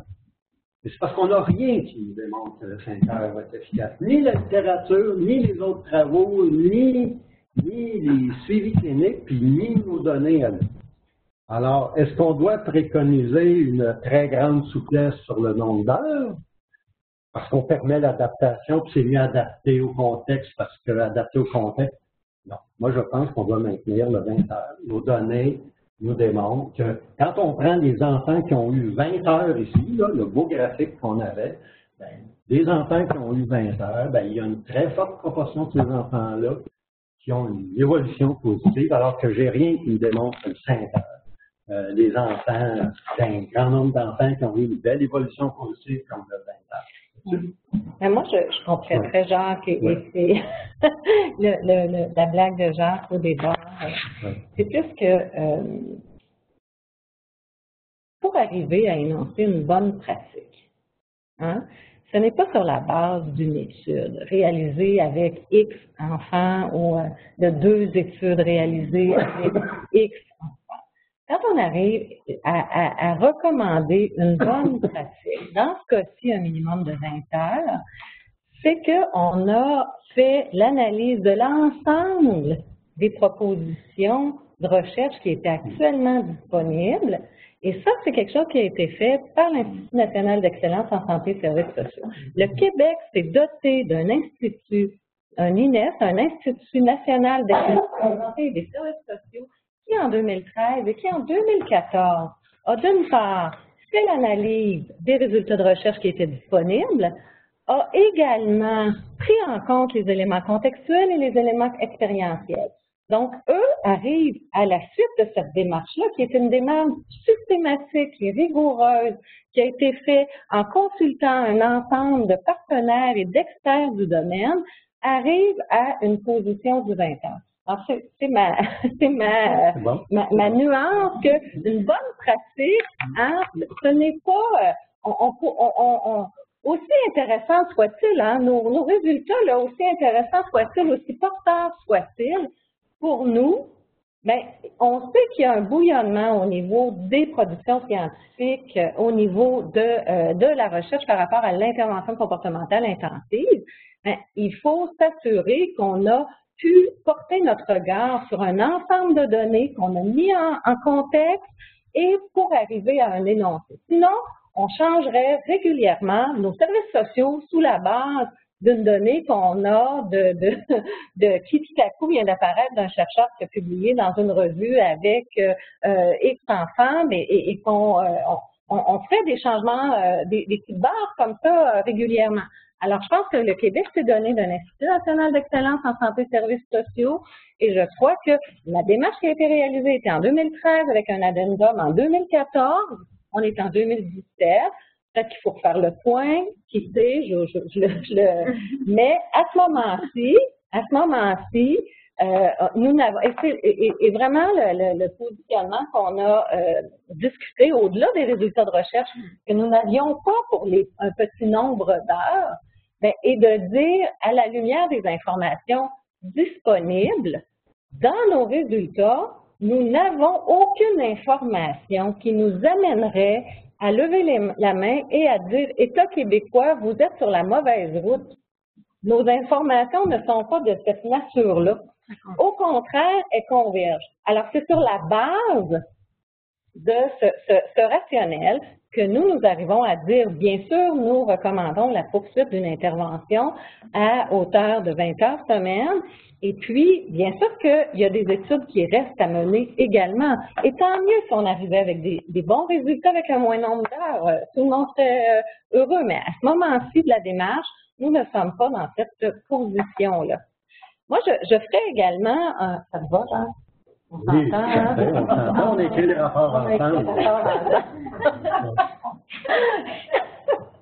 Euh, je rajouterais également par rapport aux éléments, euh, aux ingrédients actifs, je pense que, euh, euh, je, je le rappelle, hein, et puis euh, euh, tu me corrigeras, euh, dans les éléments là, qu'on considère là, qui, qui sont vraiment à, à- qui ressortent, qui ressortent pas avec des taux euh, extrêmement euh, faramineux, Je pas, mais. Euh, tout ce qui est de la structuration de l'environnement, de la structuration de l'environnement. Et par environnement, on entend, hein, on entend la tâche, on entend euh, structuration de l'environnement physique, on entend euh, de l'horaire. Donc, si on a à miser là, ben, c'est un élément vraiment à considérer qui est associé à une bonne, réponse. L'ajout d'intervention naturaliste de la même façon. Euh, également, l'implication des partenaires. Et je pense que là, on a aussi à, à regarder comment favorisons-nous une meilleure implication des parents? Comment favorisons-nous un meilleur arrimage avec l'intervention spécialisée, mais le contexte de vie régulier dans des milieux de garde. Et quand on a une collaboration et une participation plus grande, ben, on a de meilleurs résultats. Alors ça, je pense qu'on on peut là, euh, haut et fort, euh, euh, le, le- le- le mettre en évidence. Euh, J'avais une question, madame, ici, qui avait présenté les autres. Ça, ça, ça con- ça va dans le sens de ce qu'on vient de dire. Vous avez parlé des approches non prévues. Alors, euh, puis probablement dans le sens de justement adapter à chaque enfant. Est-ce que vous pouvez en dire quelques mots pour donner des exemples? Souvent, on va retrouver les interventions naturalistes dans les approches non prévues. La musicothérapie. Euh, très peu Très peu. de Euh, je devrais, euh, re- je devrais retourner aux résultats peut-être pendant que on prend une autre question, je peux fouiller. Mais euh, en fait, euh, il y avait très peu de- d'interventions très étonnantes. En fait, ce qui était étonnant, c'est qu'on les place, ces interventions-là, Dans les non prévus. dans les non prévus. Euh, mais je peux tout de même le jeter un, Oui, on un a petit regard. C'est que eux, les répondants considéraient, eux, que c'était pas prévu dans le- leur programme d'intervention comportementale intensive. Mais il faut savoir que, oui, on a bien documenté et dans la phase 1 et dans la phase 2 le fait que on a très peu de documents officiels sur c'est quoi le programme d'intervention comportementale intensive dans chacun des établissements. Donc, c'est dans la perception de chacun de ces intervenants-là euh, de ce qu'est ou de ce que devrait être son intervention comportementale intensive. Et parfois, on remarquait que c'était peut-être une, ve- une version un peu euh, euh, stricte de DCI à laquelle il se comparait. Euh, traditionnelle, je ne sais pas comment qu'on peut, euh, mais une intervention très décontextualisée, En euh, la majorité avec des effets distincts, Avec tout des ça. effets Donc, on, aussitôt qu'on sortait de ça, on considérait que c'était non prévu par le programme, alors que dans une version très actuelle de l'UCI, les interventions naturalistes font partie euh, des, des programmes qui, qui sont diffusés actuellement en 2017. Oui, c'est ça. Exactement. Oui, ça répond?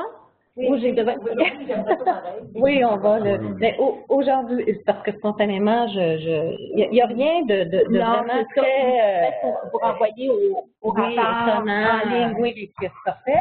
Mais au- aussi, euh, aujourd'hui, on tend à concevoir hein, l'intervention, non pas en opposition les effets distincts des interventions Non. naturalistes, mais sur un même continuum. Et euh, en fonction de euh, ben, pour quel enfant, pour quelle habileté, et puis pour quelle phase de, de, l'acquisition de cette habileté.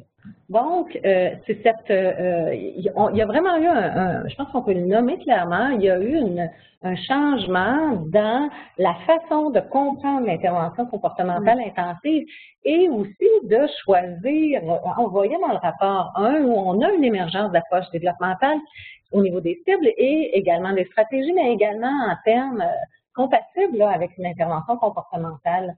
Alors, euh, on, a vraiment un, programme qui, s'est aussi questionné sur les cibles d'intervention, euh, qui s'est aussi demandé jusqu'à quel point euh, allons-nous dans l'acquisition de micro-habiletés ou d'habiletés essentielles et comment on va considérer les symptômes à l'intérieur de l'intervention, ne devant pas faire systématiquement l'objet d'une intervention en, alors, euh, cette évolution-là, elle est très, euh, elle est très nette. Si je peux me permettre, le processus d'individualisation du programme ici, c'est-à-dire d'être en mesure de jongler entre l'utilisation de stratégies comme les systèmes versus de l'enseignement tout ça, demande une plus grande formation, une plus grande supervision. Mm-hmm. Donc, euh, bien que ça peut faire partie du grand programme ICI, ça demande pour l'intervenant qui est face mm-hmm. à plusieurs enfants différents de pouvoir jongler dans ce continuum d'intervention-là et avoir de la mm-hmm. supervision et, et, de faire des bonnes évaluations des besoins d'enfants. Sur des compétences essentielles pour qu'ils participent bien et à la vie familiale et à la vie en euh, milieu de garde. Il y avait deux autres mains levées en salle. J'ai deux questions qui attendent depuis un certain temps en ligne. Je vais y aller avec la première de Julie Michaud. Lors de la AC, quelles interventions étaient ciblées précisément? L'enseignement paraissait distinct, le renforcement, d'autres exemples? Euh, est-ce que je ne sais pas si elle va pouvoir répondre, est-ce que la personne réfère euh, au, au, euh, au moment où Jacques a présenté les différentes combinaisons? Présenté précédemment, selon moi, oui. OK. Donc, c'est en lien avec, euh, avec euh, les combinaisons de stratégies où on nomme l'analyse appliquée du comportement.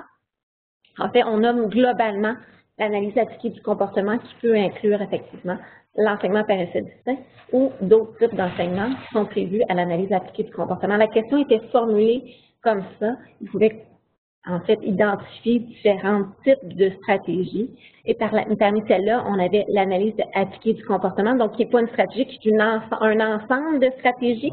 Et euh, les intervenants pouvaient nommer le fait qu'ils, eux, dans leur pratique, euh, référaient à un ensemble de stratégies euh, qui découlent ou qui reposent sur les principes de l'analyse appliquée du comportement. Je ne sais pas si ça répond. Je comprends qu'il va vous le dire. On imagine.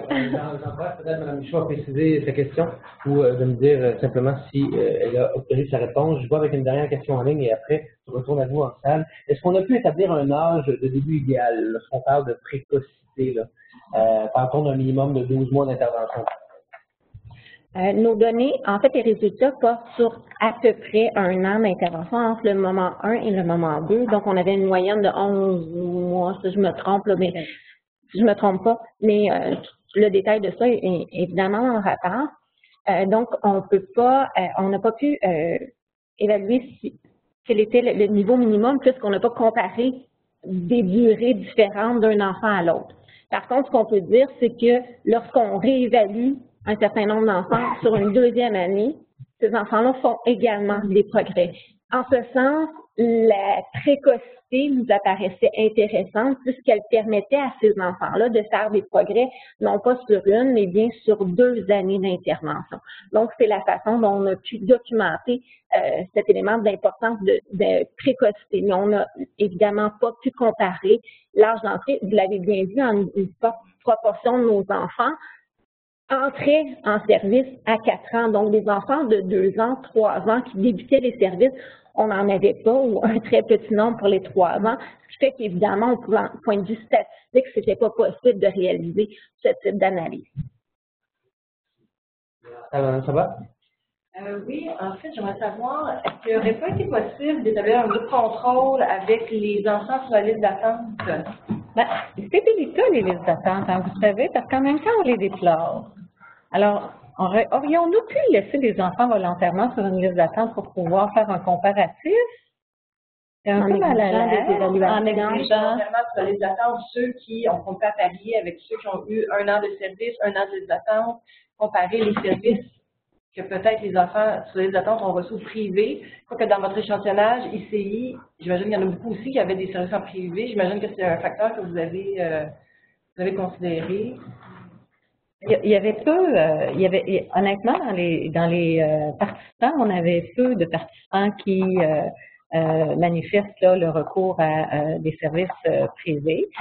Nous, on a vraiment fait le choix de ne pas aller sur la liste d'attente parce qu'on souhaite que les enfants soient sur une liste d'attente moins de 12 mois. Et on ne, on ne voulait pas d'une façon indirecte mettre que nous considérons comme acceptable que des enfants attendent plus de 12 mois pour avoir un accès au service. Alors, que c'est une position, et on s'est dit, nous sommes, nous avons un, euh, nous avons, nous nous intéressons au programme ICI tel qu'il se déploie dans les services actuels. Donc, on travaille avec les services euh, qui sont euh, actuels. On a un programme universel, et à la lumière du programme universel, on a sélectionné le devis de recherche qui euh, était présent. Il faut aussi savoir que des études avec un groupe contrôle sont bien intéressantes, mais quelquefois l'appariement n'est pas si évident. Hein?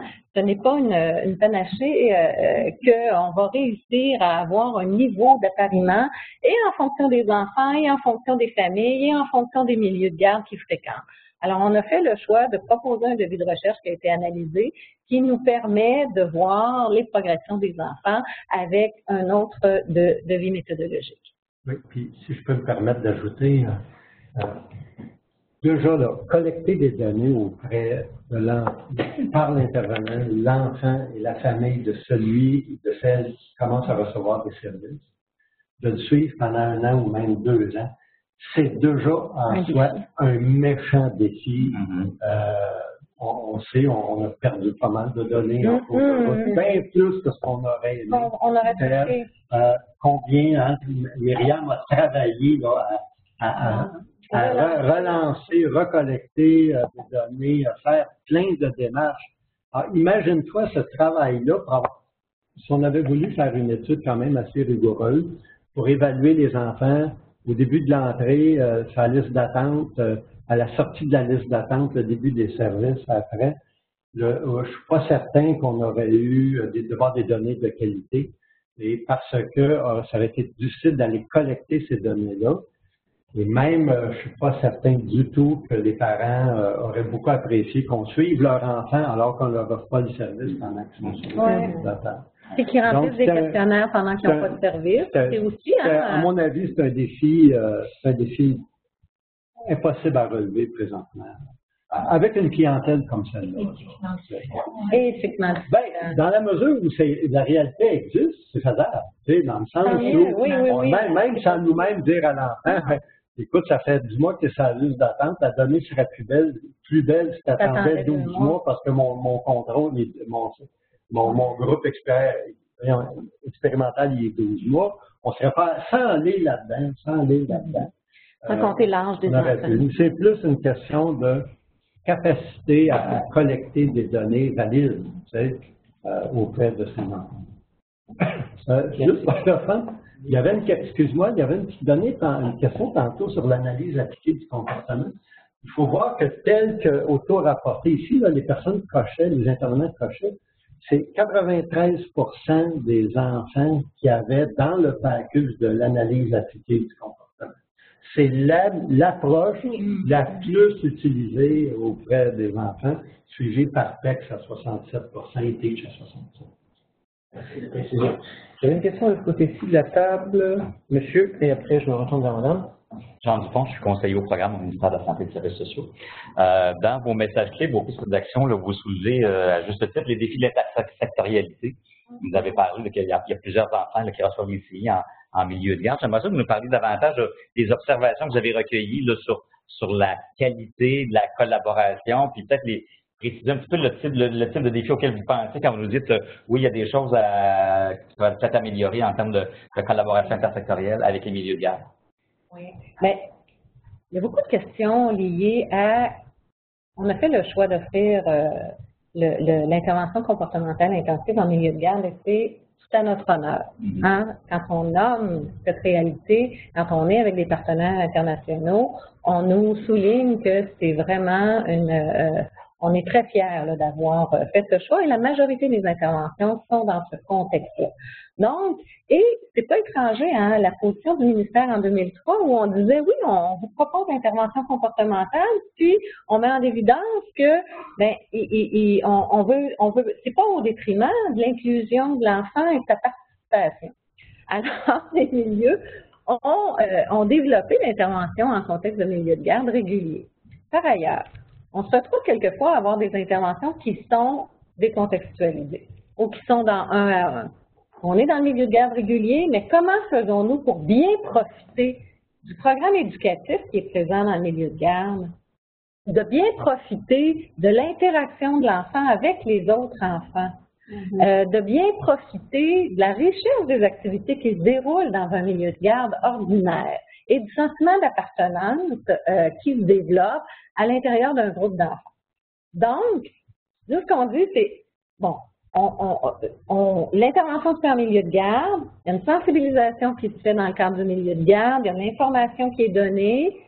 Comment on peut tendre à ce qu'on est moins dans une intervention à part du groupe d'enfants, hein, euh, qui quelquefois est l'intervention en milieu de garde, hein, où on a un local qui est séparé du groupe d'enfants dans une situation un à un avec une large composante d'effets distincts. Nous, on dit, ben, oui, déjà, on est en milieu de garde, c'est intéressant. Par ailleurs, est-ce qu'on pourrait pas mieux profiter des opportunités d'apprentissage qui sont présentes dans le groupe et naviguer entre ces périodes-là où il y a des, euh, des, des, des, interventions de type effet distinct un à un, à un réinvestissement et une utilisation de ces produits dans le cadre euh, des activités de groupe, euh, dans, pour travailler aussi tout ce qui est de la participation de l'enfant aux activités de groupe, parce que quand il va arriver au, niveau scolaire, il va pas être dans une situation un, un euh, individuelle toujours donc, comment on peut, et c'est ce type d'arrimage-là qu'on considère qui est important à, euh, à développer. Et c'est très heureux parce que nous venons, nous venons d'obtenir une subvention de recherche du Conseil de recherche en sciences humaines du Canada qui va vraiment nous permettre de euh, euh, s'attarder à quand on parle d'inclusion en milieu de garde, ben, comment on peut se, se donner des bonnes pratiques? Au, au niveau de l'intervention de niveau de cette question de partenariat. Là.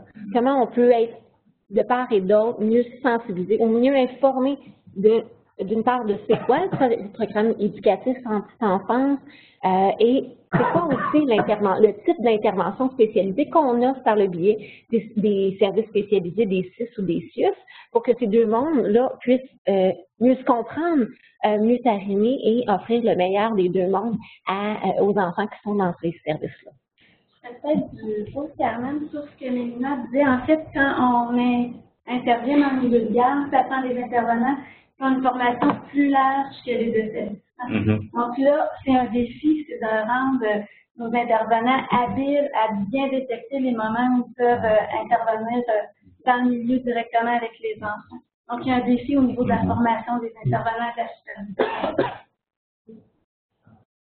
Comprendre que c'est même si on sort de l'étude simple, puis l'apprentissage décontextualisé, on peut rester en analyse appliquée du comportement et saisir les opportunités de la vie de tous les jours avec d'autres enfants pour susciter des apprentissages. Puis ça rejoint encore une fois la question d'intensité. On peut parler aussi de la densité des apprentissages. Utiliser mon heure, même si je prends un pour un, pour faire l'intervention avec les autres et aller chercher la communication, euh, l'imitation, tout ça. Ça prend la formation. Merci beaucoup. Je vais aller à vous dans quelques instants. Euh, Monsieur Thériault-Luc euh, nous avait posé une question il y a déjà quelques minutes. Quels sont les facteurs déterminants de la participation aidante des parents? On a une réponse à ça. On a une réponse à ça? Est-ce qu'on a une réponse? Ah, est-ce qu'on a? Je voulais voir quelle réponse on va poser. Euh, dans le questionnaire, dans les documents, euh, on, on- dans les données qu'on a recueillies, il y a tout ce qui est du partage d'informations. Hein? Tout ce qui est de la documentation qu'on partage avec la famille, tout ce qui est de, euh, de, de, du temps qui est pris hein, pour établir cette, euh, cette collaboration. Si je me souviens bien. Au niveau de la satisfaction des familles, il y avait, il y avait un élément qui concerne qui l'aspect de l'information, l'information que les parents puissent- peuvent recevoir là, en lien avec euh, l'intervention qui sera mise en place auprès de leur enfant. Oui. Mm. Donc ça, ça ressortait. Mais évidemment, on n'a pas, on pas d'analyse très poussée sur, dans ce contexte, dans le contexte de ce, ce projet-là, sur euh, les différentes variantes ou facteurs qui sont associés à- au niveau de participation parentale ou euh, quel type d'intervention euh, le parent doit ou doit pas faire. Ou, Oui. bon, on n'était pas du tout dans cette perspective-là. On l'a document- documenté euh, dans la, la- la phase d'implantation. Est-ce que le parent participe plus ou moins aux différentes étapes du processus d'intervention, mais pas euh, au niveau des variables qui peuvent euh, être des meilleurs prédicteurs, si on veut, du niveau de participation du parent. On n'était pas là. Non, parce que là, il fallait introduire des prédicteurs de ces prédicteurs. C'est la participation des parents était, pour nous comme un prédicteur possible de l'évolution des enfants. Là, il fallait introduire dans nos instruments, nos mesures, des prédicteurs de ça, donc euh, les caractéristiques de la famille. Il, il aurait fallu documenter beaucoup plus et on pouvait pas. Il y avait, il y avait quand même une a limitation a sur la- les, co- la- la- les données qu'on pouvait collecter. Oui, Angela Fayasso, euh, sur la question nationale. Euh, en fait, vous avez parlé de la qualité de vie euh, des familles euh, qui n'avaient pas eu d'impact sur la qualité de vie. Euh, Est-ce qu'elle était bonne au début? Est-ce qu'elle n'était pas bonne? Puis, euh, c'est quoi votre analyse par rapport à leur qualité de vie? En fait, ne permet pas de dire est-ce que c'est une bonne qualité de vie, une mauvaise qualité de vie? Puis dans les mesures de qualité de vie, il y a l'aspect subjectif hein, de, de la qualité de vie, c'est une mesure qui est, qui est- qui est subjective. hein. Euh, tout ce que je peux dire, c'est que euh, vraiment, entre les deux temps de mesure, il n'y a pas de changement et que c'est toujours la même euh, la même euh, dimension du domaine là, qui était un peu plus faible que les autres. Mais je ne peux pas qualifier de bonne ou mauvaise euh, la qualité de vie de nos familles. Par contre, on a pu comparer nos résultats avec des résultats qui avaient été obtenus dans le cadre d'une étude un peu similaire qui avait été réalisée dans le cadre d'un projet dans un établissement. Et on pouvait constater que notre étude, qui était plus à l'échelle provinciale, semblait montrer un niveau de qualité de vie de la famille qui était légèrement inférieur et euh, ça, c'était statistiquement significatif à ce qui avait été obtenu dans le cadre de ce projet-là. Donc, on a pu faire cette comparaison-là, mais ceci dit, euh, ça ne me permet tout de même pas là, de, de qualifier très for- formellement pardon, le, le niveau de euh, qualité de vie euh, de ces familles. Je dirais aussi que ça rejoint la, dimension euh, où on, on questionnait hein, les limites des instruments de mesure avec lesquels on évalue les effets du programme OCI. Hein, euh, euh, quelle dimension on devrait considérer si on est avec un, un- notre modèle de changement est très clarifié et que euh, les, les actions et les interventions auprès de la famille sont vraiment clair- clairement déterminées, tout avec des instruments. On peut le dire maintenant à la fin de la recherche, c'est la beauté de la chose où, euh, à, la, à la lumière de la démarche qui est suivie, moi je pense qu'il y a vraiment une réflexion pour euh, euh, amener sur vraiment les instruments avec lesquels on va évaluer les changements et comment ces changements-là sont cohérents avec le modèle de changement proposé dans le cadre de, euh, de l'ICI. C'est assez cohérent avec ce qu'on retrouve dans la littérature aussi par rapport à l'impact des programmes dédiés à l'enfant sur les familles qui ont un enfant et un TSA. C'est une problématique, je pense que les chercheurs ont internationalement, on, on- on se questionne. On a très peu d'impact sur la qualité de vie des familles, sur le stress parental, euh, bien qu'on ait un, un, impact sur les mesures chez les enfants et au niveau de la satisfaction des familles. Donc, on est content et observe les progrès, euh, mais c'est des familles euh, qui ont quand même besoin de entre autres, au bien-être Mm. émotionnel. Mm, mm. Donc, le bien-être émotionnel qui était la, la dimension, la qui fait euh, la plus, euh, le moins bien possible à des, euh, à chacun des temps de mesure. Je pense que dans tout ce qui est accompagnement auprès des familles, est-ce que l'intervention familiale qui est au niveau de l'intervention comportementale intensive a des cibles liées au stress ou liées à Bon, alors c'est toute cette réflexion-là qui, euh, qui, euh, qu'il faut avoir. Après 15h20, on euh, peut-être deux dernières questions. Je n'avais pas d'autres mains levées. Madame. Oui, euh, ça passe pas toujours un peu dans le, sens de justement voir les effets. Est-ce que vous avez, ou peut-être que vous en faites entre 4 et 5 ans, donc est-ce qu'il y en a beaucoup qui ont intégré l'école régulière? Avez-vous des données sur, cette variable-là? qui pourrait quand même être un indicateur intéressant du progrès de l'enfant. Même s'il réussit sa maternelle, c'est pas un grand succès de réussir sa maternelle, mais c'est quand même intégré un groupe régulier, bon, il a réussi à, à fonctionner dans une classe. euh, Il y a des études qui ont été réalisées en considérant cet aspect-là au niveau de l'intégra- au, au niveau de l'in- de l'intégration scolaire. Nous, le, le, le- et, je- et ces études-là ont été aussi, ont soulevé aussi certains questionnements par rapport à les données qu'on a, de quoi parle, de quoi parle, parle-t-elle? Est-ce que la- ça parle des acquisitions que l'enfant a réalisées, qui permet d'arriver en classe régulière, ou ça parle des politiques qui sont en vigueur par rapport à la scolarisation des enfants? Alors, c'est là où, pour nous, Pour nous, c'est on- ça.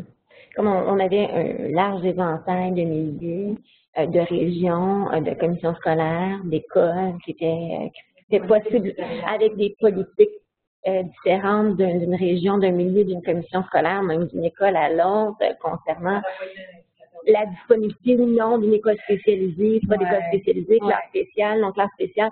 Ça aurait été très difficile d'interpréter ces données-là. Donc, on a fait le choix de ne pas, pas s'attarder à, à ce type de- d'informations. D'autres questions, commentaires? Sinon, en ligne, euh, c'est une dernière. Je vais prendre une dernière question.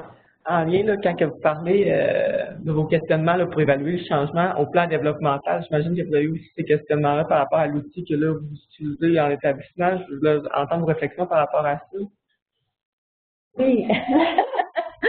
euh, ben, C'est une dernière question. C'est pas la dernière question. C'est surtout une question qui pourrait ouvrir la porte à de grandes discussions. Euh, vous savez, on souhaite que l'enfant participe, hein, on souhaite que les services soient orientés pour faire en sorte qu'on a un enfant qui participe le plus possible dans le cadre de sa vie à la maison et euh, dans le cadre des services qu'il reçoit en euh, milieu de garde. On mise sur la participation et sur le fonctionnement de l'enfant. Et c'est sûr qu'avec des instruments, certains des instruments qui sont visuels, qui sont euh, fréquemment utilisés et avec lesquels on a euh, traité les données, mais soit on a un- un- un- pour certaines échelles de comportement adaptatif un, un nombre plus restreint pour les jeunes enfants, parce que c'est de ça dont on parle, on parle des très jeunes enfants, soit des données sur des habiletés qui euh, ne sont pas nécessairement des habiletés fonctionnelles qui aident le fonctionnement de l'enfant, l'adaptation de l'enfant au quotidien. Alors, c'est dans ce sens que euh, euh, il- il faudrait regarder effectivement euh, avec quel instrument dans ce virage hein, pour euh, euh, travailler vraiment le, le fonctionnement de l'enfant et sa participation dans ces milieux de vie, quels sont les instruments sur le développement de l'enfant qui, euh, qui pourraient nous donner ces informations? beaucoup pour vos questions. Nombreuses questions et commentaires. C'était fort intéressant autant pour les gens en salle que les gens en ligne.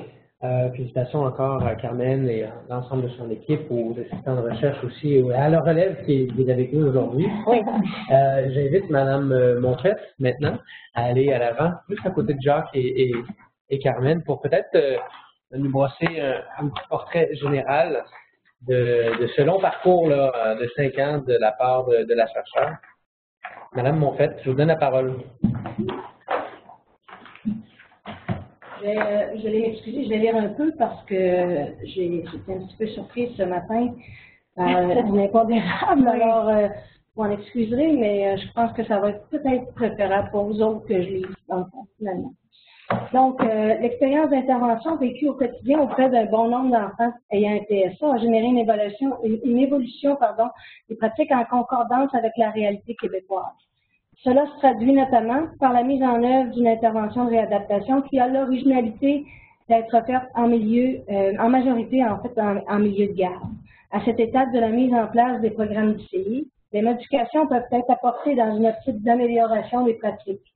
Il faut continuer de concentrer des efforts autour des activités évaluatives qui permettent un monitorage plus régulier des services au-delà du nombre d'heures dans une volonté d'harmonisation, mais surtout de qualification des pratiques sur l'ensemble du territoire du Québec. Comme pour toute recherche, des questions demeurent. Cependant, les résultats obtenus soutiennent l'importance de poursuivre les efforts consentis afin d'offrir une intervention précoce qui répond aux différents profils et besoins des enfants ayant un TSA. Les constats de cette étude permettent d'identifier des pistes d'amélioration à différents niveaux. Cela dit, l'intensité demeure un sujet chaud. Bien sûr, il est question d'un grand nombre d'heures d'intervention à faire auprès de cette clientèle spécifique, mais aussi auprès de milieux de garde et de familles. Puisque l'intervention concerne un grand nombre d'enfants et leurs proches, ainsi que plusieurs intervenants des milieux de garde, des milieux de vie fréquentés par les enfants, l'intervention est susceptible de contribuer au développement d'une communauté plus inclusive dont tous en bénéficient. Il s'agit d'une opportunité ou d'une occasion privilégiée de, poser un regard pardon, sur les pratiques et de partager une vision concertée au sein des CIS et CIUS ainsi qu'avec différents partenaires. Prenant appui sur sa connaissance de la réalité des services CCI, l'équipe de Mme Diane poursuit certaines activités de recherche, notamment sur la documentation requise pour soutenir la pratique du CI et, et ce, de concert avec sept mesures de réadaptation. L'équipe poursuit aussi des travaux sur les pratiques auprès des enfants ayant un TSA en milieu de garde. C'est donc dire que les travaux se poursuivent oui. et on, on, on, peaufine un petit peu l'approche de plus en plus oui, au fil des, des, des, connaissances. Pour le ministère de la Santé et des Services sociaux, à l'heure actuelle, la question du 20 heures par semaine est l'intensité privilégiée lorsqu'on parle d'ICI, et ce pour une durée minimale de 12 mois. On tenait à préciser ça parce que, bon, euh, originalement, l'ICE a été implanté et euh, bon, on avait on n'avait pas nécessairement de règles qui venaient euh, disposer là, de, de, de l'ICI. Et à un moment donné, ben, quand on parle d'un 5 heures semaine, quand on parle d'ICI, on s'est dit il y a quelque chose qui ne va pas. Donc, dans une meilleure harmonisation, principalement, on s'est donné, avant même qu'il y ait des lignes directrices qui soient élaborées et définies, on devait avoir un minimum d'intensité avec un minimum de temps qui devait être défini autour de l'ICI. Donc, on s'est donné ça. On s'est basé là-dessus sur des données qui, ont, qui sont issues d'un comité d'experts de l'Ontario qui a euh, statué là-dessus. Donc, on n'a pas statué sur le 12 heures, 20 heures euh, le 20 heures semaine, 12 mois par année, euh, parce que ça faisait notre affaire. Donc, finalement, on est allé donc, sur ce sujet, les lignes directrices sur l'application d'ICI prévues par le plan d'action sur le TSA viendront préciser l'offre de service d'ICI au Québec, grâce à des données probantes et à la contribution d'un comité d'experts qui viendra préciser aussi le positionnement de ce programme par rapport à d'autres approches. Tous ces travaux viendront favoriser une meilleure harmonisation des pratiques d'ICI au Québec. Pour terminer, au nom du MES, au nom du ministère. Je tiens à remercier l'équipe de Mme Carmen Dionne pour sa ténicité et son professionnalisme lors de, dans la réalisation de cette recherche. Merci beaucoup, c'est très apprécié. Donc, euh, on, sait, on sait très bien qu'un projet sur cinq ans, ça renferme de nombreux défis, hein, notamment sur la rétention des participants. Quand on parle d'études longitudinales, c'est pas simple de garder ces participants puis d'encourager de, de, les établissements et les acteurs, les intervenants qui en ont euh, plein les bras dans les, dans les établissements et qui travaillent très fort pour cette clientèle-là. Donc, euh, ben, merci à tous les acteurs. Merci. Merci, Mme Monfette. Merci, merci beaucoup.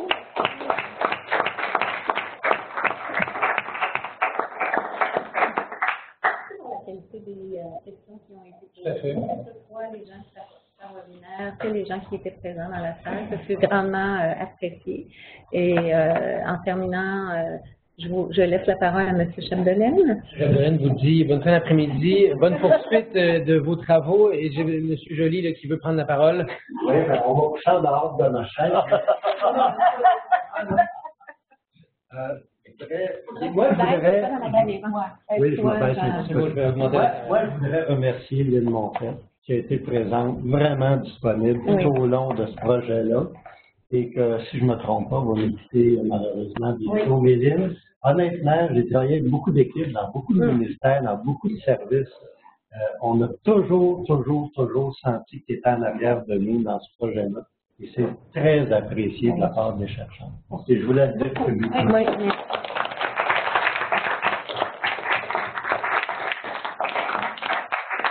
Merci. Merci. Donc voilà, donc euh, sur ce, on, on dit aussi euh, ré- répondez au sondage et allez consulter et faites voyager ce rapport euh, de recherche-là et ses nombreuses annexes. Aussi, bonne chance à Carmen et pour la suite des choses dans vos autres projets. Merci beaucoup. Bien.